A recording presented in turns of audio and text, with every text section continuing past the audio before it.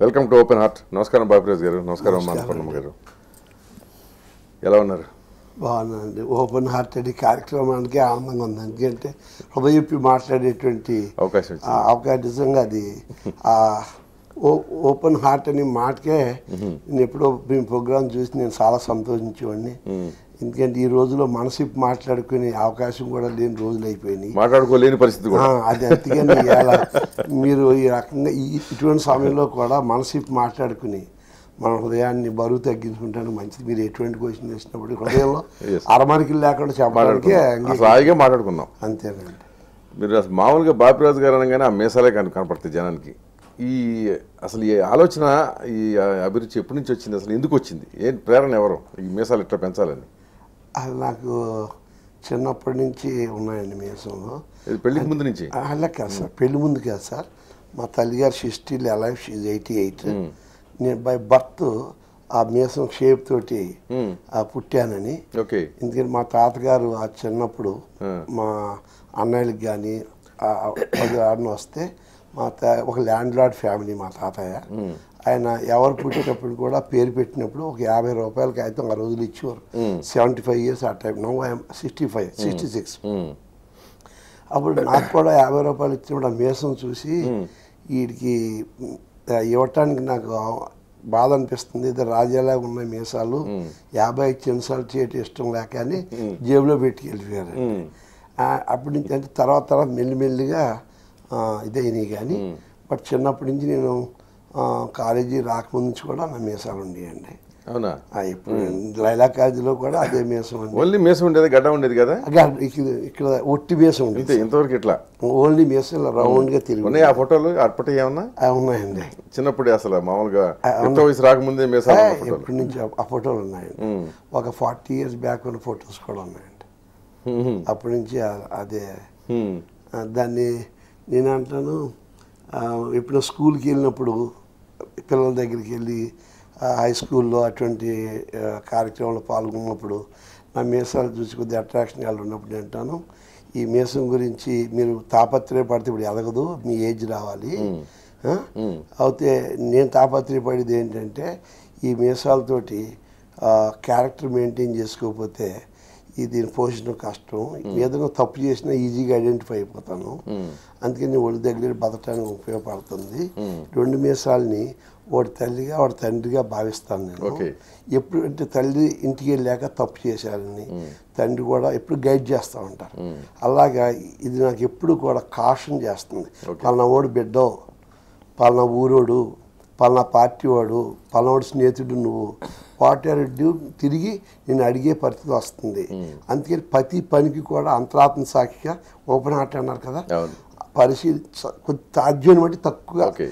ఆలోచన తప్పు చేయడానికి దోహదపడదండి. మీరు పేరు తగ్గట్టే అన్నపూర్ణమ్మ అమాయకంగా ఉంటారు మీ పని ఏదో మీరు చేసిపోతారు కదా. ఆయన ఆకారం చూసి భయపడలా పెళ్ళప్పుడు? ఆ మీసాలు చూసి ఏంటి ఈయనేంటి ఇంత పెద్ద మీసాలు అని చెప్పి. చిన్న వయసులోనే మ్యారేజ్ చేశారండి అప్పుడు అసలు తెలియదు పదమూడేళ్ళ అంటే తెలియదు మీసం తెలియదు. పదమూడేళ్ళకే చేశారు కాబట్టి అంత ఆలోచన భయం అని ఏమీ అనిపించలేదు. నేను చూసినప్పటి నుంచి ఉన్నాయి కాబట్టి పెళ్ళికి అలవాటు ఆశ్చర్యపడలేదు. అయిపోయింది. ఆశ్చర్య అలవాటు అయిపోయింది అంటే మీరు రెండు కుటుంబాల మధ్య బంధుత్వం ఉందా? మేనరకం అండి మాది. మేనమా పిల్లలండి. ఓకే. అదే అంటాను మేనత్ మేనమా పిల్లల మళ్ళానే అడ్జస్ట్ కొత్త నన్ను ఎవడు చేసుకుంటాడు? మీసాలతో నువ్వు కాబట్టి చేసుకున్నావు తర్వాత భరించావు. ఎంతవరకు భరించావు నిజంగా వాస్తవంగా చెప్పాలి ఓపెన్ హార్ట్ కాబట్టి నాకు నిజంగా ఆవిడ యొక్క స్ఫూర్తి చాలా ఉంది. నేను చిన్నప్పుడు కొద్దిగా ఇండిపెండెంట్గా హ్యాపీగా బతికిన మనిషిని ఏంటి? అంటే ఒక సిగరెట్ కాల్చే అలవాటు ఉండేది డ్రింక్ చేసే అలవాటు ఉండేది. ఏ, ఆ, రెండు నేను ఇండిపెండెంట్గా ధనవంతుడి కొడుకు ఏదో నాకు స్నేహితుల ద్వారా చిన్నప్పటి నుంచి స్టేటస్ సింబల్ అండి అక్కడ గోదావరి జిల్లాలో. అంటే అలా ఉండేదండి. అయితే ఎప్పుడు కూడా నా తల్లిదండ్రులకు కానీ తన తల్లిదండ్రులకు కానీ నేను తాగాను ఎప్పుడు చెప్పలేదు. ఓకే ఆవిడ. ఎప్పుడు కంప్లైంట్ అంటే నిజంగా భరించింది. కానీ పాపం ఎప్పుడు కంప్లైంట్ చేయలేదు. ఎప్పుడు భగవంతుడు మనకు న్యాయం చేయకపోతాడా ఆశించి బతికింది తప్ప నన్ను ఎప్పుడు ఇబ్బంది పెట్టలేదు. దాని ప్రవర్తన ఎప్పుడు మానేశారు మరి? Nineteen seventy five October second అండి.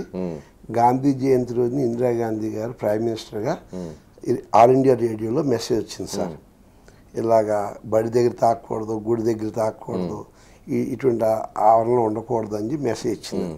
నా పక్కన స్నేహితులు ఉన్నా అంటే వాళ్ళు ఏదో అలా చెప్తారు అటువంటి మనం పట్టించుకోకూడదు అన్నానండి ఎందుకంటే నేను తాగపోతే అడిపోసేవాడు ఉంటాడు కదండి. అంటే అలా అది నేను అన్నాను అలా కాదురా. సమ్ రకమైన ఇన్ఫర్మేషన్ భగవంత్ దేవాలు మనం ఇంత పెందరాడి లేచి రేడియో వినేవాళ్ళం కాదు. ఎందుకో ఆగాము ఆ మెసేజ్ గౌరవింతే బాగుంటుంది కదా అని చెప్పి ఈ ఆల నుంచి నేను డ్రింక్ చేయదలుచుకోలేదు అని అన్నానండి. అంటే నీ మతి లేదా ఏంటి? అటువంటి పిచ్చి పనులు చేద్దానండి అది కాదులే లెటెస్ట్ ట్రై అని అన్నానండి. అంటే సిగరెట్ కాల్చి ఉన్నాను సార్. సిగరెట్ కూడా నోట్లో పెట్టి అగ్గిపోలు వెలిగించాను సార్. వెలిగించేవాడికి అది ఎరగలేదు sir um, swear and garden. Immediate నోట్లో సిగరెట్ కూడా తీసి బయట ఇచ్చాను సార్. ఓకే. డెబ్బై ఎనిమిది అక్టోబర్ సెకండ్ నుంచి ఇప్పుడు దాకా సిగరెట్ మందు ముట్టుకోలేదండి. రాజకీయాల్లోకి వెళ్ళాలని కానీ లేదా అప్పుడు నేను ఎమ్మెల్యే కానీ ఏం కాదు. స్పాంటేనియస్గా ఇది మానేశాను సార్. దాని ఇప్పటిదాకా దాని జోలికి వెళ్ళలేదు. టెంప్ట్లు అటువంటివి నాకు ఉండవు సార్. అప్పుడు ఎలా ఫీల్ అయ్యారు ఆవిడ? మీరు మానేశారని తెలిసాక? ఏం ఫీలింగ్ ఎప్పుడు నాకు చెప్పలేదండి భగవంతుడు సంతోషపడి ఉంటుంది కానీ దైవం నా మొరాలకించాడు అనుకున్నానండి. ప్రార్థనకి వాడు న్యాయం చిన్నప్పుడు ఇంతప్పటి నుంచి ప్రార్థనకే న్యాయం జరిగిందండి. రిక్వెస్ట్ మీద న్యాయం జరగలేదు కదండి. ప్రార్థనకే న్యాయం చేశారు స్వామి. కానీ మధ్యలో ఒక అపశృతి జరిగింది. అయ్యా. మీరు ఇందిరాగాంధీ చెప్పిందని కానీ లేదా మీ మనసాక్షి చెప్పిందని కానీ మీరు మందు మానేశారు సిగరెట్ మానేశారు. అయ్యా. కానీ ఎక్సైజ్ మంత్రి అయ్యారు. అయ్యా. అయినందుకు శిక్ష కూడా అనుభవించారు. డిస్టిలరీకి అనుమతి ఇచ్చారని చెప్పి ఉద్యోగం పోయింది. అలా ఉద్యోగం పోలేదు సార్. రాజీనామా చేశారు. నేను చేశాను. అదే అంటే తీసేటి వేరు అండి నేను- నేనంటే మామూలుగా వ్యాఖ్యానించాను నేను. అయ్యా మీ అందరికి మీరు ఆ రోజు అసెంబ్లీలో రాజీనామా చేస్తున్నట్టు ప్రకటించారు. నేను ఉన్నాను అప్పుడు. అవునండి. నేను రిజైన్ అసలు ప్రతిపక్షాలు గొడవ చేయటం మీరు గొడవ చేయటం గుర్తుంచుకోండి సార్. రామారావు గారు కానీ నాగేశ్వరరావు గారు కానీ సిపిఐ విద్యాసాగర్ బీజేపీ కానీ ముస్లిం ముస్లిం ఎవరు కూడా ఆల్ రికార్డు ఉంది సార్ ఇప్పుడు కూడా నాకు ఉంచాను ఏ ఒక్కరు కూడా నేను కరప్ట్ అనలేదు సార్. పాపం అనవసరంగా సంతకం పెట్టారు. ఎవరో కరప్షన్ చేశారు. ఇన్నోసెంట్గా ఈయన సంతకం పెట్టాడు. అని మాట్లాడారు తప్ప బాధ్యత తీసుకోమన్నారు. బాధ్యత తీసుకోమన్నారు. కానీ సంతకం పెట్టాడు కానీ నువ్వు కరప్ట్ కాదని బట్టి కూడా అన్ రికార్డులో అందరూ అన్నారు సార్. కానీ మీరు మీకేమనిపించింది అసలు ఆ శాఖ తీసుకున్నందుకు? ఆ శాఖ వద్దు. అనుకున్నారా? ఆ శాఖ వద్దని బతి బతిమాలాను సార్. ఆ. శాఖ సార్ పంతొమ్మిది వందల డెబ్బై ఎనిమిదిలో చెన్నారెడ్డి గారు నాకు ఆ శాఖ ఇచ్చారు సార్. అంటే నాకు ముందు తెలీదు. శాఖలు ఏమి ఇచ్చారో రమ్మన్నారండి. కాగితంలో పెట్టి ఉందండి. తిరగే చూస్తే చెన్నారెడ్డి ఫస్ట్ పేరు అండి సెకండ్ కే బాబురాజ్ అండి. మినిస్టర్ ఫర్ ఎక్సైజ్ ఉంది సార్ నాది. అంటే నాకు ఇది ఎందుకు సార్? నాకు వద్దన్నా. అంటే అదేంటి బాబురాజు ఎక్సైజ్ అంటే ఏంటో ఉన్నావు next CM important commercial tax excise important నువ్వు మంచివాడు అని నీకు ఇస్తే అదేంటంటే లేదు సార్ ఇటువంటి పోర్ట్ఫోలియో నాకు వద్దండి. ఆ? నాకు హెల్త్ మినిస్టర్ ఇవ్వండి సార్. నాకు ఇష్టం. ఏం చేస్తా ఉన్నారు నాకు చిన్నప్పటి నుంచి డాక్టర్ అవ్వాలని ఉండేది. పది మంది సేవ చేసుకునే అలవాటు ఉంది. అందుకని చెప్పి డాక్టర్ అవ్వకపోయినా సేవ చేసుకుంటున్నాను. దయచేసి అది ఇవ్వండి అన్నాను. పిచ్చోడా నువ్వు తెలివైనడు అనుకున్నాను ఇప్పుడు దాకా ఒక ఉస్మానియా హాస్పిటల్లో డాక్టర్ని కూడా ట్రాన్స్ఫర్ చేయలేవు నువ్వు. ఆడికి ఆడికొడుకు గాడ్ ఫాదర్లు ఉంటారు. నీ హెల్త్ పోతుంది ముందు. నా మాట వద్దు తీసుకో. వీ నీడ్ యువర్ నేను క్రెడిబిలిటీ ఉన్నాడు నాకు కావాలి తీసుకోమన్నారు. వద్దంటే సరే అన్నారు. గవర్నర్ దగ్గర ప్రమాణ స్వీకారం వేసిన తర్వాత మాకు కవర్స్ ఇచ్చేసి వస్తారు సార్. అందులో ఎక్సైజ్ అని ఉంది సార్ ఇమీడియట్ చెప్పాను సార్ నాకు వద్దని చెప్పి ముందే చెప్పా. మళ్ళీ నాకు ఇచ్చారు. ఐ కెనాట్ టేక్ ఛార్జ్ అని చెప్పేశారు. నేను ఎంత సౌమ్యంగా ఉంటానో. ఇంకా అందరూ ఫర్మేట్ సెకండ్ టూ థాట్స్ ఉండవండి okay. I'm sorry sir I told నేను నేను తీసుకోను అన్నాను. అప్పుడు ఆల్ పోర్ట్ఫోలియోస్ తీసేసుకున్నారు బ్యాక్ ఫైవ్ డేస్ గవర్నర్ గారితో చెప్పి ఫైవ్ డేస్ పెండింగ్ పెట్టి వితౌట్ పోర్ట్ఫోలియోస్ అండి. ఓన్లీ ఫర్ మై సేక్ పెట్టిన తర్వాత ఐదు రోజులకి కొంచెం చెప్పారు. రెండు మూడు సార్లు పిలిచి చెప్పారు. కుదరదని చెప్పారు. అన్నారు మీరు? లెజిస్లేటివ్ అఫేర్స్ మినిస్టర్ ఇచ్చారు. ఎండోమెంట్స్ మినిస్టర్ ఇచ్చారు. టీటీడీ చైర్మన్ తర్వాత ఇచ్చారు అనుకోండి పది రోజులు పోయిన తర్వాత. అయితే నేను చదువు పెద్దగా లేదండి లెజిస్లేటివ్ అఫేర్స్ ఇచ్చారు. ఇస్తే కొంతమంది ఏంటి? బాపిరాజుకి ఏంటి లెజిస్లేటివ్ అఫైర్స్ ఇవ్వటం ఏంటండి? ఇది ఎండోమెంట్తో పాటు ఏంటి ఇలాంటి నిర్ణయం తీసుకున్నారంటే అపోజిషన్ లీడర్ ఎవరో తెలుసా నీకు అన్నారంటే. అంటే పెద్దవాళ్ళతో మాట్లాడిన చెప్తున్నా నాకు పేర్లు. తెలుసు కానీ చెప్పటం లేదు. అన్నట్టుగా ఎవ- ఎవరు తెలుసా అన్నాను. ఎవరండి? రామారావు గారు రామారావు గారిని రెచ్చగొడితే కుదరదు. ఆయనతో ప్రేమగా మాట్లాడితే వీలవుతుంది. కాబట్టి Bapiraju can only run the house. Ramarao గారిని లౌక్యంతో లౌక్యంగా. మర్యాదపూర్వకంగా పెద్ద మనిషి తరహాగా ఆయనకి ఇస్తూ తన డ్యూటీ చేయగలదు ఎవరైనా రెచ్చగొడితే చమత్కారాలు వేస్తూ మాట్లా ఆయన రెచ్చగొడితే కంట్రోల్ చేయలేరు ఆయన్ని correct. ప్రేమతోటే సాధించగలదు ఒక్క బాపిరాజు సాధ్యం అవుతుంది నేను సామాన్యంగా ఇవ్వలేదు కానీ అన్న తర్వాత కూడా నన్ను second man in the cabinet అని కూడా అన్నారండి సెకండ్ మ్యాన్ క్యాబినెట్ అంటే కొంతమంది ఏమనంటే సెకండ్ మ్యాన్ క్యాబినెట్ కాదు ఆల్ఫాబెటికల్గా సెకండ్ మ్యాన్ అని అని కొంతమంది మినిస్టర్లు అన్నారండి బయట. నాకేం తెలియదండి బాగారెడ్డి గారు చెప్పారు నువ్వు సెకండ్ మ్యాన్ క్యాబినెట్ నాకు చెప్పారు. అంతమంది చెప్పినా నేను దాన్ని నేను బయట ఎక్స్పోజ్ అవ్వలేదు. నాకెందుకు పక్కన కూర్చునేవాడిని క్యాబినెట్లో క్యాబ్- అసెంబ్లీలో. తర్వాత ఏం చేశారంటే వీళ్ళు నమ్మటా లేదని ఆ క్యాబినెట్ మీటింగ్ పెట్టి వన్ అవర్ లేట్గా వస్తున్నానని రామారావు చీఫ్ సెక్రటరీని కుమారస్వామి రెడ్డి సెక్రటరీ సీఎం సెక్రటరీని పిలిచి వన్ అవర్ లేట్గా వస్తున్నాను. బడ్జెట్ క్యాబినెట్ అండి అది. ఇయర్ బడ్జెట్ అనమాట ఆల్ సెక్రటరీస్ పిలిచి వస్తే నన్ను నన్ను ప్రిసైడ్ అన్నట్టు ఈ లోపల అప్పుడు పెద్దలు అందరూ ఉన్నారు రోషయ్య గారు జనార్దన్ రెడ్డి గారు అందరూ ఉన్నారండి. నన్ను ప్రిసైడ్ చేయమన్నారు. చేయమంటే ఒక పెద్ద మనిషి ఒక మినిస్టర్ గారు అన్నారు. లేదు చాలా ఇంపార్టెంట్ సబ్జెక్ట్ ఇది. ఆయన వచ్చేదాకా ఆగుతాం వన్ అవర్ కాదు టూ అవర్స్ ఆగుతా అన్నారు. ఎవరది? ఒక పెద్ద మనిషి ఒక మినిస్టర్ ఎవరైతే ఇప్పుడు చెప్పేయచ్చు కదా అంటే ఎందుకండి అయ్యా రోషయ్య గారు అందరూ ఉన్నారని కానీ వాళ్ళు అన్నారు అంటలేదు కదా. అదే. ఒక మంత్రి మీరు ఎంత మెలికలతో మాట్లాడతారో నాకు తెలుసు కదా. అందుకనే ఆ వ్యక్తి గురించి అంత ధర్మంగా ఉండదు కాబట్టి అన్నాను లేదండి సో రోషయ్య కాదు జనార్దన్ రెడ్డి కాదు అందరూ వాళ్ళు కాదు. వాళ్ళు చాలా పెద్ద మనిషిదారుగా కూర్చున్నారు. ఇంకొక మంత్రి అగ్రెసివ్ అలా కాదు. మనం చాలా ఇంపార్టెంట్ మీటింగ్ ఇది. సీఎం గారు వన్ అవర్ అయినా టూ అవర్స్ అయినా వెయిట్ చేద్దాం అని అన్నారండి. అనేటప్పటికి నేను అన్నాను ఇమీడియట్గా రెస్పాన్స్ ఇచ్చి అది చెప్పిన సలహా మంచిగా ఉంది వీ హ్యావ్ టు వెయిట్ అంటే అప్పుడు మీరు ఫోన్ చేసుకుని సెలవు కదండి ఫోన్ చేసి ఏమండి? మన ఆయన ఇలా అన్నారు. తర్వాత బాపిరాజు గారు కూడా స్పందించి ఈ రకంగా అదే బెటర్ అన్నారు. They are prepared to wait for you sir రావటం లేదు ఓహో అట్లానా? I'm not coming for today ఈ ప్రిసైడ్ అన్నారు. So I presided sir okay four hours I presided the meeting sir అప్పుడు రామారావు గారు వెళ్ళి అని చెప్పారంట సార్ నా థర్టీ త్రీ ఇయర్స్లో ఇంత చక్కగా మీటింగ్ ప్రిసైడ్ చేసిన విధానాన్ని నేను ఎరగను సార్ అని ఒక చీఫ్ మినిస్టర్కి ఆయన చెప్పటం. ఓకే. అన్నటికి నేను ఎందుకు పంపాను అనుకుంటున్నావు? నాకు అతని మీద విశ్వాసం ఈ గుడ్ అడ్మినిస్ట్రేటర్ అని చెప్పి ఆయన అన్నట్టు రామారావు గారు చీఫ్ సెక్రటరీ చెప్పారు అలా ఏదైనా ఆపర్చునిటీ ఇస్తే డ్యూటీగా చేయటమే కానీ కానీ ఇంత ఫర్మ్ గాను ఇంత ఇదిగా మీరు ఇప్పుడు అప్పుడు అంత మంచి పేరు తెచ్చుకున్నాం అని చెప్పారు కదా. రామారావు సర్టిఫై చేశారంటే చీఫ్ సెక్రటరీగా ఉన్న ఆయన. డెఫినెట్గా మీరు బాగా కండక్ట్ చేసి ఉంటారు ఇది కానీ టీటీడీ బోర్డు మీటింగ్లకు వచ్చేటప్పటికి మీరు ఏ డెసిషన్ తీసుకోకుండా నాచుతూ ఉంటారని ఎందుకు వస్తుంది? అది అనుకుంటున్నారు కదా మీరు తీసుకున్న డెసిషన్స్ ఇప్పుడు దాకా ఈ హిస్టరీలో తీసుకోలేదండి. ఇప్పుడు పదివేల మంది ఎంప్లాయీస్ ఉన్నారనుకోండి. కొన్ని సంవత్సరాల నుంచి వాళ్ళ జీతాలు పెంచలేదు వాళ్ళకి. ఏంటండి? ఎంప్లాయీస్ని చూసుకుంటూ కూడా మన ధర్మం కదండి. అన్ని నాంచుకుని ఉంటే సాల్వ్ చేసుకుంటూ వచ్చాను.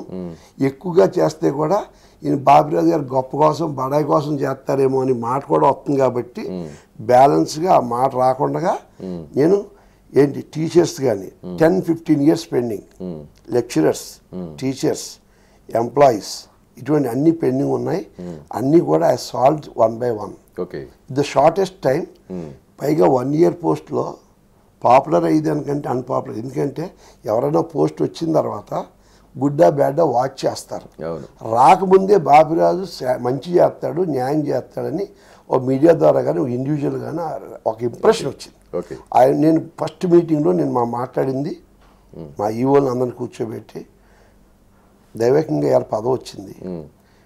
ఒక రకమైన ఇంపాక్ట్ ఇంప్రెషన్ నా మీద ఉంది. బాగా చేయగలుగుతాడని రావాలి కోరుకున్నారు. ఇప్పుడు నేను వాళ్ళ కోరిక తగ్గ పని చేయలేకపోతే నేను వాళ్ళని అవమానం చేసిన వాళ్ళని అవుతాను. నా సంగతి వదిలిపెట్టి ఆమె స్మాల్ మ్యాన్. బట్ ఒకరి ఒకరి ఇంప్రెషన్ నా మీద పెట్టుకున్న దాన్ని ఇన్సల్ట్ అవుతుంది. ప్లీజ్ దయచేసి నన్ను నాకు గొప్ప పేరు తేకపోయినా చెడ్డ పేరు లేకుండా let us open our heart and then talk is the frankly అన్నీ చేసుకుంటూ వద్దాం. Okay that's how I man కొన్ని కొన్ని డిఫరెన్స్ మాకు ఉన్నమాట కరెక్టే ఎప్పుడు కూడా వాటి తర్వాత వస్తా. డిఫరెన్స్ దాని జోలికి ఇప్పుడు రాలేదు. ఫ్యామిలీ మ్యాటర్ చెన్నారెడ్డి దగ్గర తప్పించుకోగలిగారు ఎక్సైజ్ మరి ఎక్కడ తగులుకుంది ఎక్సైజ్ శాఖ మీకు? మళ్ళీ విజయభాస్కర్ రెడ్డి వచ్చారు సార్. మళ్ళీ మళ్ళీ విజయభాస్కర్ రెడ్డి వచ్చారు. అవును. నాకు ఇది వద్దు బాబు పూర్వం నుండి ఇలా చేశారంటే అలా కాదు ఎడ్యుటేషన్ అయి ఉన్నాయి. ఆ ఎడ్యుటేషన్ ఉంటే బాబురాజు తట్టుకోగలదు అని నన్ను పెట్టారండి. ఏదైనా మాటలు చెప్పి అది ఎడ్యుటేషన్ ఎడ్యుటేషన్ తట్టుకోగలిగానండి. I to travel a lot కానీ ఇక్కడ ఇవాళ మాట వచ్చింది కూడా చెబుతున్నాను సార్. ఇరవై నాలుగు సార్ పన్నెండు డిస్టిలరీస్ పన్నెండు బ్యూరీస్ సార్. ఏ నా ఆఫీసర్లు అందరికీ బతికే ఉన్నారా? ఎంక్వైరీ చేసుకోవచ్చు. ఫైల్ తీసుకొచ్చారు సార్. ఒక ఆయనేమో హైకోర్టులో it may be considered exam ఒక రకమైన ఆర్డర్ ఏంటంటే ఒక రకమైన ఆర్డర్ ఇచ్చారు. ఒకసారి ఆలోచించమని కోర్టు. ఇంకోటి ఏమో చీఫ్ మినిస్టర్ గారు ఆబ్లిగేషన్. ఏంటండి? ఓకే ఎన్ జనార్దన్ రెడ్డి గారు ఆబ్లిగేషన్. పాత అలా అలా- అలాగే మొత్తం మీద ఒక ఆయన ఇంకో ఇద్దరు ఉన్నారు. వాళ్ళు అడిగిన ఉన్నాయి. నలుగురు అడుగు పెద్ద నాయకులు రికమెండ్ చేసిన ఉన్నాయి. నేను ఈ- ఈ ఆడ మనం ఇచ్చేది లైసెన్సే కదా. ఇస్తే వాడు బ్యాంక్కి వెళ్ళాలి ఇవన్నీ చేసుకోవాలి ఎస్టాబ్లిష్ అవ్వడం చాలా కాలం పడుతుంది కదా. ఈ నలుగురు ఇన్ఫ్లుయెన్స్ వాళ్ళకి ఇచ్చే బదులు టోటల్గా ఎన్ని ఉన్నాయి అన్నీ ఇచ్చేస్తే ఎవడు ఓపు ఉంటే అటు తెచ్చుకుంటాడు. లైసెన్స్ కోసం మనకు కూడా తిరగకూడదు. అని చెప్పి ఈజ్ ఇట్ పాసిబుల్ అన్నాను. Sir such డేషన్ nobody could dare do this. ఎవరైనా నలుగురు వచ్చారే అడగాలి. అడిగి బతిమాలని చేసుకుంటాం. ఏదో విన్నాను కానీ ఇలాగా టోటల్గా చేత my mind is only one thing మన చుట్టూరు వాళ్ళు తిరగకూడదు అప్పటికి పాపం రామారావు గారు అన్నారు నువ్వు తప్పు చేయలేదు మాకు తెలుసా ఎందుకే ఆవేశపడి బయటికి వెళ్ళిపోయావు? అని కూడా బాధపడ్డారని పాపం. ఆ పట్టుపట్టికి మళ్ళీ రాలేదుగా మంత్రి పదవికి? అంతేకాదు దాని తర్వాత మూడు మూడు మంత్రుల పై దాని తర్వాత. ఎమ్మెల్యే కూడా రిజైన్ చేశారు కదండి ఎమ్మెల్యే కూడా రిజైన్ ఇక. మరి ఎమ్మెల్యే దానికోసం ఎమ్మెల్యే రిజైన్ చేయటువంటిది ఎక్కడా లేదు కదా సార్. సో బట్ నా కాన్షియస్ పర్మిట్ చేసింది. I want give a chance to my people నేను కరప్ట్ అనుకుంటే వాళ్ళు కూడా ఛాన్స్ ఇవ్వాలి కదా. ఈ రెండేళ్ళు ఎందుకు గడిపేయాలి? వాళ్ళకి ఇన్స్టాల్ చేసి. అందుకే నేను ఆప్షన్ ఆ రకం ఇచ్చాను. నియోజకవర్గంలో యాక్చువల్గా మీ బలవంత అన్నపూర్ణమ్మ గారు కదా? బలవంత అనుపన్నం కాదని అందరూ అంటారండి. అని నేను కూడా అలా కాదండి. మీరే అన్నారు కదండి ప్రతివాడు కూడా. ఇప్పుడు మన తిరుపతి దేవస్థానం చైర్మన్ వచ్చింది కదా ఆవిడ మంచితనం ఆవిడ పూజలకే వచ్చిందని కూడా అంటారండి. కానీ పాలిటిషియన్ యొక్క స్వభావం ఏంటంటే బయటోడిని పొగిడితే ఏడుస్తారండి. చివరికి భార్యని పొగిడినా కూడా ఏడుస్తాయండి పాలిటిషియన్ కాబట్టి నేను పాలిటిషియన్గా ఉన్నాను కాబట్టి నూటికి నూరు శాతం పొలిటీషియన్ కనుక పాలిటిక్స్ కాబట్టి మిమ్మల్నే పడుకోవాలి. అది- స్వభావం. అదే. అందుకని దైవేకంగా దాన్ని చూసి ఏడవకుండా ఉండే లక్షణం భగవంతుడు నాకు ఇచ్చాడు అంతే. ఇప్పుడు ముప్పై ఏళ్ళ క్రితం చూశాను నేను. అయ్యే ఆవిడ ఆ జిల్లాలో ఎవరు పేషెంట్లు ఉన్నా తీసుకొచ్చి నిమ్స్కి తీసుకొచ్చి అంతే కదండి. ఇంక వాళ్ళని చేర్పించి వాళ్ళకి అన్నం పెట్టడం మంచి చెడు అన్నీ. అదే కదా ఇక ఆవిడ అసలు ఎవరు ఏది వచ్చినా ఇక ఇంట్లో అన్నాలు పెట్టాలి భోజనాలు అన్నీ నడుస్తూ ఉంటాయి కదా. మీరేమో చిక్కడు దొరకని తిరుగుతూ ఉంటారని అంటారు. సో ఏ సమస్య వచ్చినా మిమ్మల్ని కదా కలిసేవాళ్ళు? అంతే కదా? సో న్యాచురల్గా ఆవిడ చేసిన సేవే మీకు అది ఎన్నికల్లో ఉపయోగపడుతుంది. రక్ష ఆ? ఇప్పటికే అంత ఇదిగా ఓపిక చేస్తున్నారమ్మా మీరు? లాస్ట్ ఈ చైర్మన్ వచ్చే వరకు అలాగే చేశాను సార్. ఇప్పుడు టెలిఫోన్ ద్వారా ఇప్పుడు వరకు టెలిఫోన్ ద్వారా నేను ఎప్పుడు చేయలేదండి. చేశానండి. ఈ దేవస్థానం వచ్చాక చాలా ఎంజాయ్ చేస్తున్నాను సార్. తిరుపతిలో బర్డ్ హాస్పిటల్ ఆధ్యాత్మికంగా. చేస్తాను ఆధ్యాత్మికంగా గడపాలని ఫోన్ ద్వారా క్షమి నాకు అవకాశం వచ్చింది బాబు.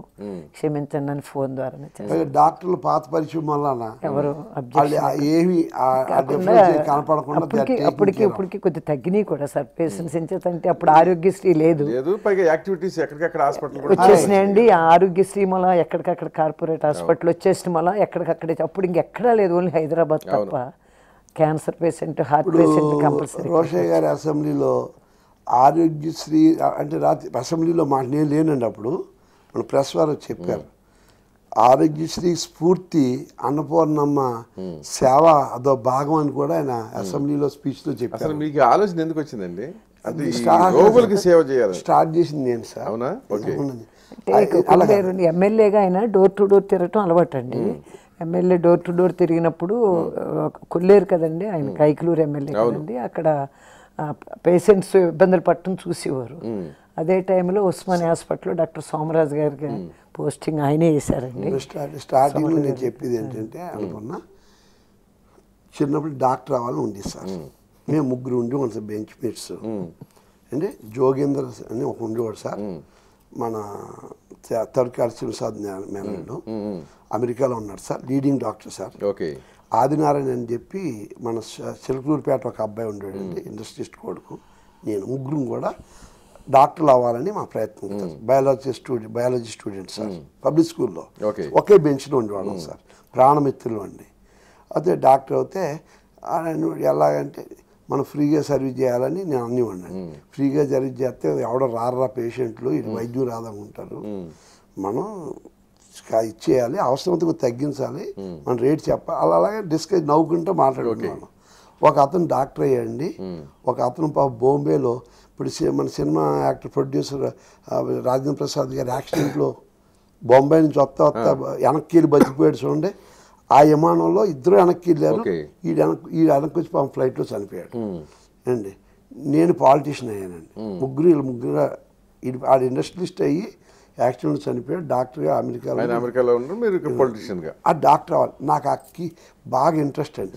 ఆ స్టింగ్ ఉన్న వలన ఆ వచ్చిన పేషెంట్లు అందరినీ హైదరాబాద్ తీసుకొచ్చి ఇలా ఉస్మానియా సోమరాజు వీళ్ళందరూ తీసుకుంటే డోర్ టు డోర్ ఎలక్షన్లు తిరుగుతూ ఉంటే వాళ్ళు బాధల్లో ఉంటుంది చూసి వాళ్ళని హైదరాబాద్ వచ్చేయమని అనేసేటప్పుడు చివరికి అండి పేషెంట్ ఎక్కువ అయిపోయేవాడికి నన్ను అసిస్ట్ చేయటం మొదలెట్టింది సార్ స్టార్టింగ్లో ఆయన వెళ్ళిపోయాడు. అసెంబ్లీ ఉండేది సార్. వచ్చేసేమని వారు పేషెంట్లు పది ఇరవై మంది వచ్చేసి మెట్ల మీద ఎమ్మెల్యే క్వార్టర్స్లో ఉండేవాళ్ళం సార్. మెట్ల కింద కూర్చుని ఉండేవారు. ఈయన అసెంబ్లీ అసలు ఒక్క నిమిషం కూడా వదలరండి. ఎయిట్కి వెళ్ళిపోయి మధ్యాహ్నం మూడింటికి వచ్చేవారు. వీళ్ళ టైం అదే టైం కదా వాళ్ళ బాధలతో కింద ఉండేవారు. ఆయన అసెంబ్లీకి వెళ్ళిపోయారు. ఆ టైంలో ఇంకా నాకే ప్రాణం అప్పక ఉస్మాని హాస్పిటల్కి తీసుకెళ్ళటం మొదలెట్టాను సార్. ఇంకా నేను తీసుకెళ్ళి వచ్చాక. ఆయనకి ఎంజాయ్ చేశాను సార్. నేను అందులో ఎంజాయ్ చేశాను. ఎంత సేవ అంటే వాళ్ళు రిలీఫ్. అయ్యాక సెల్ఫ్లెస్గా చేసినంత కాలం. ఇప్పుడు అప్పుడప్పుడు నా ఎలక్షన్కి వస్తుంది సార్? మీరు మిమ్మల్ని నమ్ముతున్నాను. మీ సేవలో సెల్ఫ్లెస్ చేస్తున్నారని. ఏ రోజుని మీ సేవలో మీ నడకలో తప్పు నాకు దొరికిందో నేను ఎలక్షన్ రాకపోవటం కాదు మీ ముఖం చూడను. ఒక్క భర్తగానే కాదు. మీలో కొన్ని లక్షణాలు నచ్చి మీకు కూడా ఆ పది రోజులు తిరుగుతున్నాను ఎలక్షన్లో. అంత స్ట్రైట్ ఫార్వర్డింగ్ కానీ నర్సాపూర్ హోటల్లో చాలా మంది అనేది ఏంటంటే బాపిరాజు గారి మీద మాకు నమ్మకం ఉన్నా లేకపోయినా ఆవిడని చూసి చేస్తా ఉంటాం నిజమా కాదా? ఓపెన్ అంటారు సార్. ఇప్పుడు? నమ్మకం లేకపోవటం కానీ నమ్మకం హండ్రెడ్ పర్సెంట్ అదే వాళ్ళు ఇప్పుడు రాజకీయ నాయకులు కాదు కదా. సెల్ఫ్లెస్ సర్వీస్ కదా సార్ ఇప్పుడు మామూలు మీ- ఓటు కోసం. రాజకీయ నాయకులు. మీ మీద భిన్నాభిప్రాయం ఉండటం సహజం ధర్మం ఈ రోజు కాలం సహజం. ఆవిడకి ఏంటంటే అసలు ఏమీ అవసరం లేకపోయినా అవును. పని ఇవాళ కాదు కదా ముప్పై ఏళ్ళగా చేస్తున్నా సేవ. ఎప్పుడు డోర్ టు ఎప్పుడు ఎలక్షన్లో తిరిగినా రిసీవ్ చేసుకుంటారు. కనిపిస్తుంది. రిసీవ్ కనపడుతుంది రిసీవింగ్ కనపడుతుంది. వాళ్ళు బాగా గౌరవం. ఆవిడ మీద డైరెక్ట్ ఇంకొక మాట అంటాను లేకుండా ఆత్మీయత చూపిస్తారండి. నా మీద కొంత ఆత్మీయత ఉండొచ్చు కొంత అసంతృప్తి ఉండొచ్చు. సహజం. పాలిటిక్స్లో ఉన్నాను. కాబట్టి. అసంతృప్తి ఉంటుంది. అందుకని ఆ అసంతృప్తిని ఆవిడ కవర్ చేసేస్తున్నారు. అయ్య అట్లాంటి సేవా దృక్పథంతో మొదలైన కుటుంబాలు కదా మీ? అయ్యా అట్లాగే ఒక డిస్టిలరీకి పర్మిషన్ ఇచ్చానని చెప్పి మంత్రి పదవి రాయ అసెంబ్లీ అన్ని రాజీనామా చేశారు. ఇప్పుడు జరుగుతున్నది చూస్తే ఏమనిపిస్తుంది? మా నాన్నగారండి డెబ్బై ఎనిమిదిలో నేను ఇండిపెండెంట్గా పెట్టానండి. అప్పుడు అన్నారు రాజకీయాలు పాడైపోయి అసహించుకునే రోజులు ప్రజలు అసహించుకునే రోజుల్లో నీ పదవి పిచ్చ పట్టిందేంట్రా? డెబ్బై ఎనిమిదిలో డెబ్బై ఎనిమిదిలో అప్పుడు అసలు చే- అప్పుడే చేరటం మొదలైంది. అదండి ఏంటి నేను నామినేషన్ వేసాను సార్ ఇండిపెండెంట్గా ఈ నామినేషన్ వేసిన విత్డ్రా చేయమని మొత్తం వంద మందిని పోజ్ చేసి నాతో కౌన్సిలింగ్ ఇచ్చి ఆఖరికి అందరూ అయిపోయిన తర్వాత ఫాదర్ వచ్చి గదిలో పిలుచుకొచ్చి ఏ తండ్రికి తన కొడుకు ఎమ్మెల్యే అవుతే ఈర్చిపడటరా ఆ? అవును. నేను ఈర్చిపడేవాడిని కాదు. నువ్వేమన్నా నీలం సంజీవ్ రెడ్డివా అనంతపూర్ నుంచి వెళ్ళి కాలస్థలో గెలవటానికి నువ్వు వెస్ట్ గోదావరి వీళ్ళు కైకూరులో గెలుస్తావు కృష్ణా జిల్లాలో. నా కడుపును పుట్టినాడు ఇంత పదపిచ్చోడు ఎలా పుట్టాడురా? తెలియ చేసిన పాపానికి దేవుడు నాకు ఇంత శిక్ష ఇస్తాడా? నీకు ఈ పిచ్చి. అంటే అండి అలాగా చెప్పి చెప్పి నీకు కావాలంటే అమెరికా వెళ్ళరా? సరదాగా నలుగురు తిరిగిరా. నీ ఉన్నంతకాలం నీకు ఏ లోటు లేదురా. కానీ ఈ రాజకీయాల్లోకి వెళ్ళక ఆశ్రయించుకునే రోజుల్లోనే లేదు కాదు కూడదంటే వెస్ట్ గోదావరి ఉండిలో పెట్టు. నేను ఎవరికి ఓటు వేయించాను కానీ నా కోసం ఓటు అడగలేదు జీవితంలో. ఇప్పుడు నా కొడుకు పదపెచ్చ పట్టింది అని ఓటు అడుక్కుంటాను. కనీసం డిపాజిట్లు వస్తాయిరా అని చెప్పారండి. అంటే ఏం మాట్లాడతలేదండి. అలా మౌనంగా ఉన్నానండి. అప్పుడు గవాల్ని ఒక అరగంట చెప్పారండి. ఎన్నో చెప్పారు. చెప్పిన తర్వాత వినకపోతే గబాలు ఉంగి నా పాదాలకు దండం పెట్టారండి ఆయన. కళ్ళం నీళ్ళు పెట్టుకుని. నా మాటకి రాళ్ళు కూడా కానీ నీ. మనసులో మట్టికి ఈ పదవి చింత ఎక్కేసింది అంటారా నీకు? చీ చీ చీ అన్నారు. నాన్న మీరు నీ బిడ్డనే నేను. నేను తెలియకుండా ఇరికిపోయాను. నేను గెలవను నేను పెట్టనని చెప్పా. వాళ్ళు అన్నారు లేదు మీరు ఏమైనా పెట్టాలి. మీ తప్పారు ఓటేయం అన్నారు. నేను గెలవనరా బాబు అంటే అలా కాదు.